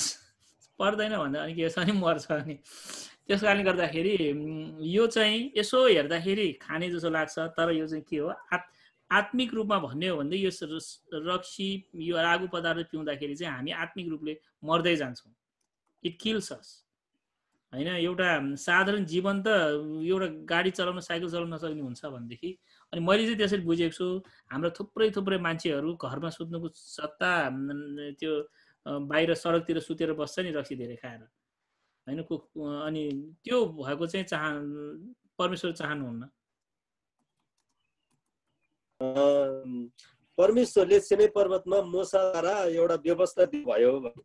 अनि पछि फेरि त्यो पहिलाको पुस्ता त त्यहाँ सिनै पर्वतमा उजाड स्थानमा त्यो सकेको कुरा छ। र दोस्रो पुस्तालाई कनानको निम्ति गराएको छ भने अनि पनि ग्रिक भाषाको चाहिँ दोस्रो व्यवस्था भनेको छ क्या। अनि मैले बुझ्न खोजेको चाहिँ पहिलाको व्यवस्था पनि कुन भाषा हो? र दोस्रो व्यवस्था दोस्रो व्यवस्था चाहिँ नि ग्रिकमा भएको छ। त्यो चाहिँ अलिकति म कन्फ्युज भइरहेको छु क्या। त्यही कारण एउटा यसो सानो बुझ्न खोजेको पासु बुवासँग म पनि कन्फ्युज भएँ त अहिले। मैले बुझेँ तपाईँको। पहिलो बुझेँ। दोस्रो अब पहिलो व्यवस्था र दोस्रो व्यवस्था पहिलो पुस्तालाई दिएको चाहिँ व्यवस्था चाहिँ तपाईँले प्रस्थानको पुस्तकमा हेर्नुभयो भनेदेखि दस आज्ञा त्यहाँ छ। अनि त्यसपछि दोस्रो व्यवस्था चाहिँ व्यवस्थाको पुस्तकमा छ होइन? पाँचौँ पुस्तक। व्यवस्थाको पुस्तकलाई अङ्ग्रेजीमा ड्युट्रोनोमी भन्छ। ड्युट्रोनोमी भनेको डुएट नोमोस डुएट भनेको चाहिँ सेकेन्ड भयो नोमोस भनेको ल। सेकेन्ड ल भनेको। व्यवस्थाको पुस्तक चाहिँ के छ? मोसा त्यसकारण मर्न लागेको बेलामा मोसाले चाहिँ के छ दोस्रो पुस्ताहरू ठुलो भइसकेपछि अनि त्यो यर्दन नदी पार गर्न लागेको मान्छेहरूलाई फेरि के छ व्यवस्था दोहोऱ्याएर दिएको चाहिँ के भन्छ त्यसलाई अङ्ग्रेजीमा ड्युट्रोनोमी भन्छ नेपालीमा चाहिँ खास व्यवस्था भन्दा दोस दोहोरो व्यवस्था दोस्रो व्यवस्था हुनुपर्ने हो त्यसको नाम के? तर डुएट्रोनोमोस सेकेन्ड ल भनेको चाहिँ त्यो हो। त्यो पनि हिब्रू भाषामा नै हो। त्यस कारण भाषा चाहिँ व्यवस्थाको कुरा गर्दाखेरि चाहिँ हिब्रूमै आएको हो। तर ग्रिक भाषा चाहिँ पछि नयाँ करारको समयमा इन्टरनेसनल ल्याङ्ग्वेज ग्रिक भएको थियो। त्यसकारण यहुदीहरू इसरायलीहरू हिब्रू भाषा बोल्थे हामी नेपाली बोलेको जस्तै। तर उनीहरूले लेख्ने त्यतिखेरको एकाडेमिक ल्याङ्ग्वेज चाहिँ ग्रिक भएको कारणले गर्दाखेरि नयाँ करारको प्राय पुस्तकहरू ग्रिक भाषामा लेख्यो। अहिले प्राय मान्छेले इङ्ग्लिसमा लेखेको जस्तै। कतिजना मान्छेहरूले नेपाली हामी इमेल गर्दाखेरि अब नेपाली पहिला लेख्न गाह्रो भयो भनेर इङ्ग्लिसमा लेख्थ्यो नि त। त्यो भनेको जस्तै नयाँ करार चाहिँ ग्रिकमा लेखेको हो। कति एरामिकमा लेखा पनि छ ग्रिक पनि छ होइन? त्यो चाहिँ किन भनेदेखि इन्टरनेसनल ल्याङ्ग्वेज ग्रिक भयो तर मान्छे उनीहरू हिब्रू बोल्थ्यो। तर पुरानो करार चाहिँ सबै नै हिब्रूमा हो। तर पछि ग्रिक समयमा त्यो सबैलाई ग्रिक भाषामा उल्था गरेको त्यसलाई सेप्टाजिन भनेर भन्छ। इन्टरनेसनल ल्याङ्ग्वेज ग्रिक हुँदाखेरि पुरानो करारको हिब्रू सबै नै ग्रिक भाषामा उल्था गरेको छ त्यसलाई सेप्टाजिन भनेर भन्छ। त्यो चाहिँ के छ अनि त्योबाट पनि कतिपटक उल् उल्था गरेको छ हाम्रो बाइबलहरू। तर व्यवस्था चाहिँ हिब्रू भाषामै दिएको हो ग्रिकमा दिएको होइन। पहिलो पनि पहिलो प्रस्थानको पुस्तकमा छ अनि व्यवस्थाको पुस्तक सबै चालिस वर्षपछि मोसाले दोस्रो पुस्तालाई दिएको व्यवस्था चाहिँ व्यवस्थाको पुस्तक हो। अन्तिम प्रश्न हामी पास्टर पुष्प साइलीबाट लिउँ। त्यसपछि हामी कन्क्लुड गर्नेछौँ। आजको चाहिँ प्रार्थना हामी चाहिँ प्रेमा लामा पास्टर बाले गरिदिनु होला यो प्रश्न उत्तरपछि।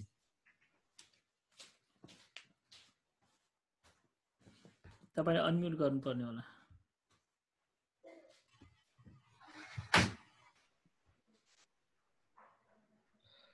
हुन्छ यहाँ सबैलाई जय मसी जय मसी धन्यवाद अर्जुनजी। समय दिनुभयो। अनि विशेष गरेर धन्यवाद आदरणीय पास्टर डाक्टर मनोजजीलाई। एकदमै असल प्रकारले आजको टिचिङलाई धेरै कुराहरू सिकाउनु भयो धेरै धन्यवाद। अनि मेरो प्रश्न भन्दाखेरि पनि एउटा अघि हाम्रो पास्टर पल युकेबाट उहाँले राख्नु भएको प्रसङ्गमै जोडेर भन्न मन लाग्यो। म हजुर माझमा बाइबलको वचनबाट हितोपद हितोपदेश एकतिस अध्याय। चार पददेखि सात पद पढ्न अनुमति माग्दै अनि त्यसलाई जोड्नु पर्यो। चार पदमा यसरी लेखेको हामी पाउँदछौँ यो राजाहरूका निम्ति होइन। हे समुएल राजाहरूले दाख मध्य पिउनुहुन्न।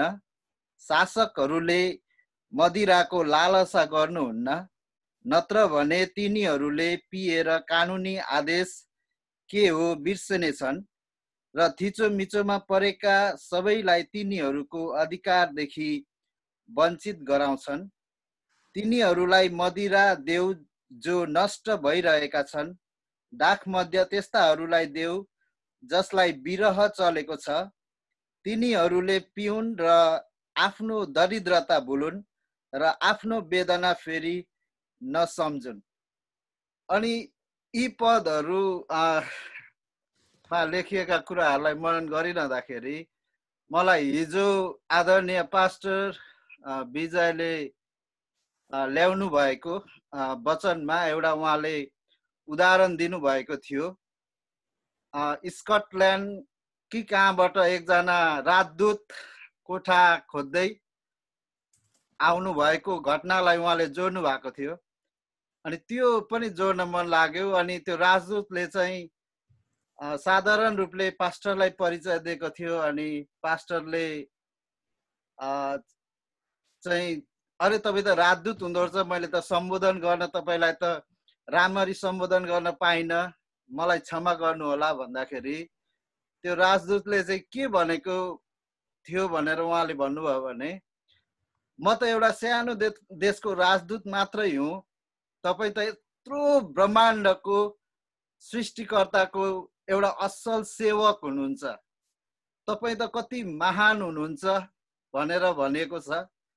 भनेर उहाँले भन्नुभएको थियो र त्यो राजदूतले त्यसरी बुझेको थियो परमेश्वरको सेवक को हो र कस्तो हो भनेर। अनि त्यो पोइन्टलाई मैले यहाँ जोड्दाखेरि यहाँ एउटा राजालाई दिएको अर्थी छ भने परमेश्वरको सेवक त राजा संसारको राजा भन्दा एउटा महान सेवक हो। अनि हामीले आफै छुट्याउन सक्नुपर्छ। राजालाई त यस्तो खालको अर्थी यहाँ दिएको छ भने मलाई लाग्छ सेवकहरूले चाहिँ एकदमै ख्याल गर्नुपर्छ होला त्यो पाटोमा जस्तो लागिरहेछ। धन्यवाद। यो यसो यो यो पद हेर्दाखेरि चाहिँ यो ब्रुफिन खाएको जस्तो पेन किलर जस्तो भयो यो ऊ चाहिँ होइन। तपाईँलाई रोग लागेको छ सहनै सकेन भनेदेखि चाहिँ पेन किलर खानु पर्यो। तर तपाईँ क्रिस्चियन हुनुहुन्छ भनेदेखि त तपाईँले त्यो पेन किलर पनि खानु भएन फेरि। ल हुन्छ। यो रमाइलो छलफलको लागि र तपाईँ सबैजना सहभागी हुनुभएको लागि पनि धन्यवाद दिँदै हामी अब चाहिँ छुट्नेछौँ छुट्टिने प्रार्थना हाम्रो चाहिँ पास्टर पेमा लामा कोलोराडोले हामीलाई गरिदिनुहुनेछ हामी सबैजना प्रार्थनामा सहभागी हुनेछौँ।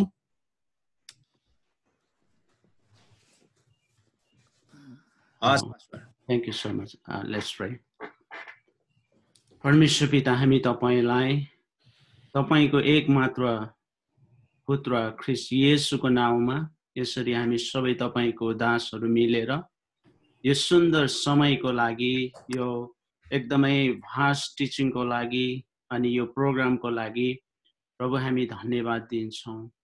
प्रभु धन्यवाद तपाईँ अति नै कृपालु अनुग्रह परमेश्वर जसले आफ्नो दासहरूद्वारा यसरी हामीलाई यो क्लासहरू प्रभु तपाईँले जुटाइदिनु भयो। प्रभु धन्यवाद दिन्छौँ विशेष गरेर जति पनि डक्टर मनोज र उहाँको इन्टायर टिम र जति पनि पास्टर टिचर्सहरू हुन्छ जसले आफ्नो बहुमूल्य समयलाई प्रभु श्री हामी अनलाइनमा जोडिएकाहरूको लागि संसारबाट आज फेसबुक लाइभद्वारा अनि विभिन्न माध्यमद्वारा आज जोडिएर आज हाम्रो निम्ति उहाँहरूले यो ठुलो इन्भेस्टमेन्ट गर्न भएको छ। पिता परमेश्वर उहाँहरूको लागि म प्रार्थना गर्छु तपाईँले उहाँहरूको स्वर गलामा अभिषेक गर्न हवस् स्वर गलामा तपाईँले शक्ति दिन हवस् प्रभु उहाँहरूको क्षेत्र जुन जुन क्षेत्रमा उहाँहरूको जिम्मेवारीको कुराहरू छ। आज प्रभु उहाँहरूलाई अझै पनि तपाईँ परमेश्वरबाटको शक्ति र सामत ज्ञान बुद्धिलाई म माग्दछौँ। प्रभु हामीले आज उहाँहरूद्वारा धेरै कुराहरू सिक्न पाएको छौँ अनि हामीले सिकेको कुराहरूलाई रिभ्यू गर्न पाएको छौँ। प्रभु तपाईँलाई म धन्यवाद दिँदछौँ। आज पहिलो इतिहास सोह्रको एघारमा भन्दछ परम प्रभु र उहाँको शक्तिको खोजी गर। उहाँको दर्शन निरन्तर खोजा भनेर आज तपाईँको वचनले भन्दछ। यतिखेर हामी जुन परिस्थितिहरूबाट भएर हामी जाँदै गर्दाखेरि आज प्रभु हामीले यतिखेर कोठा कोठामा बसेर प्रभु तपाईँको दर्शनको कुराहरू तपाईँको योजनाको कुराहरू तपाईँको इच्छाको कुराहरूलाई चाहिँ हामीले खोज्न सक्ने आज हामीलाई समयहरू दिन भएको छ। प्रभु यतिखेर मानिसहरू संसारमा नष्टहरू भएर गइरहेको छ। याकुब एक पाँचमा तपाईँले भन्नुहुन्छ कि मानिसहरू आफ्नो ज्ञा ज्ञानको कमीले मानिसहरू नष्ट भइरहेको छ। प्रभु म प्रार्थना गर्छु हामी तपाईँ परमेश्वरको सेवा गर्ने सेवकहरूलाई अनि तपाईँलाई विश्वास गर्ने मानिसहरूलाई अनि संसारमा राष्ट्रियहरू चलाउने देश चलाउने लिडर्सहरूलाई प्रभु तपाईँले ज्ञान बुद्धि दिनुहोस् ताकि यो देशमा यो संसारमा तपाईँको राज्य स्थापित गर्न सकौँ अनि प्रभु तपाईँलाई मानिसहरूले चिन्न सकौँ। प्रभु धन्यवाद दिन्छौँ। यसरी आजको यो विशेष क्लास दासमा तपाईँ प्रभुले आफ्नो दासलाई प्रयोग गर्नुभयो। प्रभु सहायता गर्नुभयो। धन्यवाद दिन्छौँ। अनि यसरी सञ्चालक ज्यूलाई अनि इन्टायर टिमलाई प्रभु तपाईँले प्रयोग गर्नुभयो सहायता गर्नुभयो। अनि यहाँदेखि उताको उहाँहरूको योजनाहरूमा पनि उहाँहरूको कामहरूमा पनि अनि हामी जति पनि यहाँ अहिले कति ठाउँमा रात छ हाम्रो यहाँ दिन छ अनि सबै स्थानमा तपाईँ परमेशको उपस्थिति छ र तपाईँले सुरक्षा दिनुहोस्। प्रभु जबसम्म हामी भोलि भेट्दैनौँ अर्को नेक्स्ट क्लासमा तबसम्म तपाईँको सुरक्षालाई माग्दछौँ। प्रभु फेरि पनि आजको क्लासमा सुरु अन्त त प्रभुले सहायता गरिदिनु भएको लागि धन्यवाद दिँदै सबै आजको क्लास यहाँनिर अन्त गर्दै प्रार्थनामा आशिष माग्छौँ। जिउँदो येसु प्रभुको नाउँमा। एमेन थ्याङ्क यू जय मसी जय मसीह, सबैजनालाई धन्यवाद। धन्यवाद सबैजनालाई। केही भुल गल्ती भएमा हामी क्षमा पनि माग्दछौँ र नयाँ आउनुहुने सबैजनालाई स्वागत गर्दै हाम्रो फेसबुक लाइभमा जोडिनुभएका सबै दाजुभाइहरूलाई पनि धन्यवाद दिँदै हजुरहरूको चाहिँ दिन रात परमेश्वरसँग बितोस् भन्ने यही कामना हामी गर्दछौँ। धन्यवाद सबैजनालाई। जय मसी। हस् जय मसीह thank you thank you pastor Manoj pastor Arjun.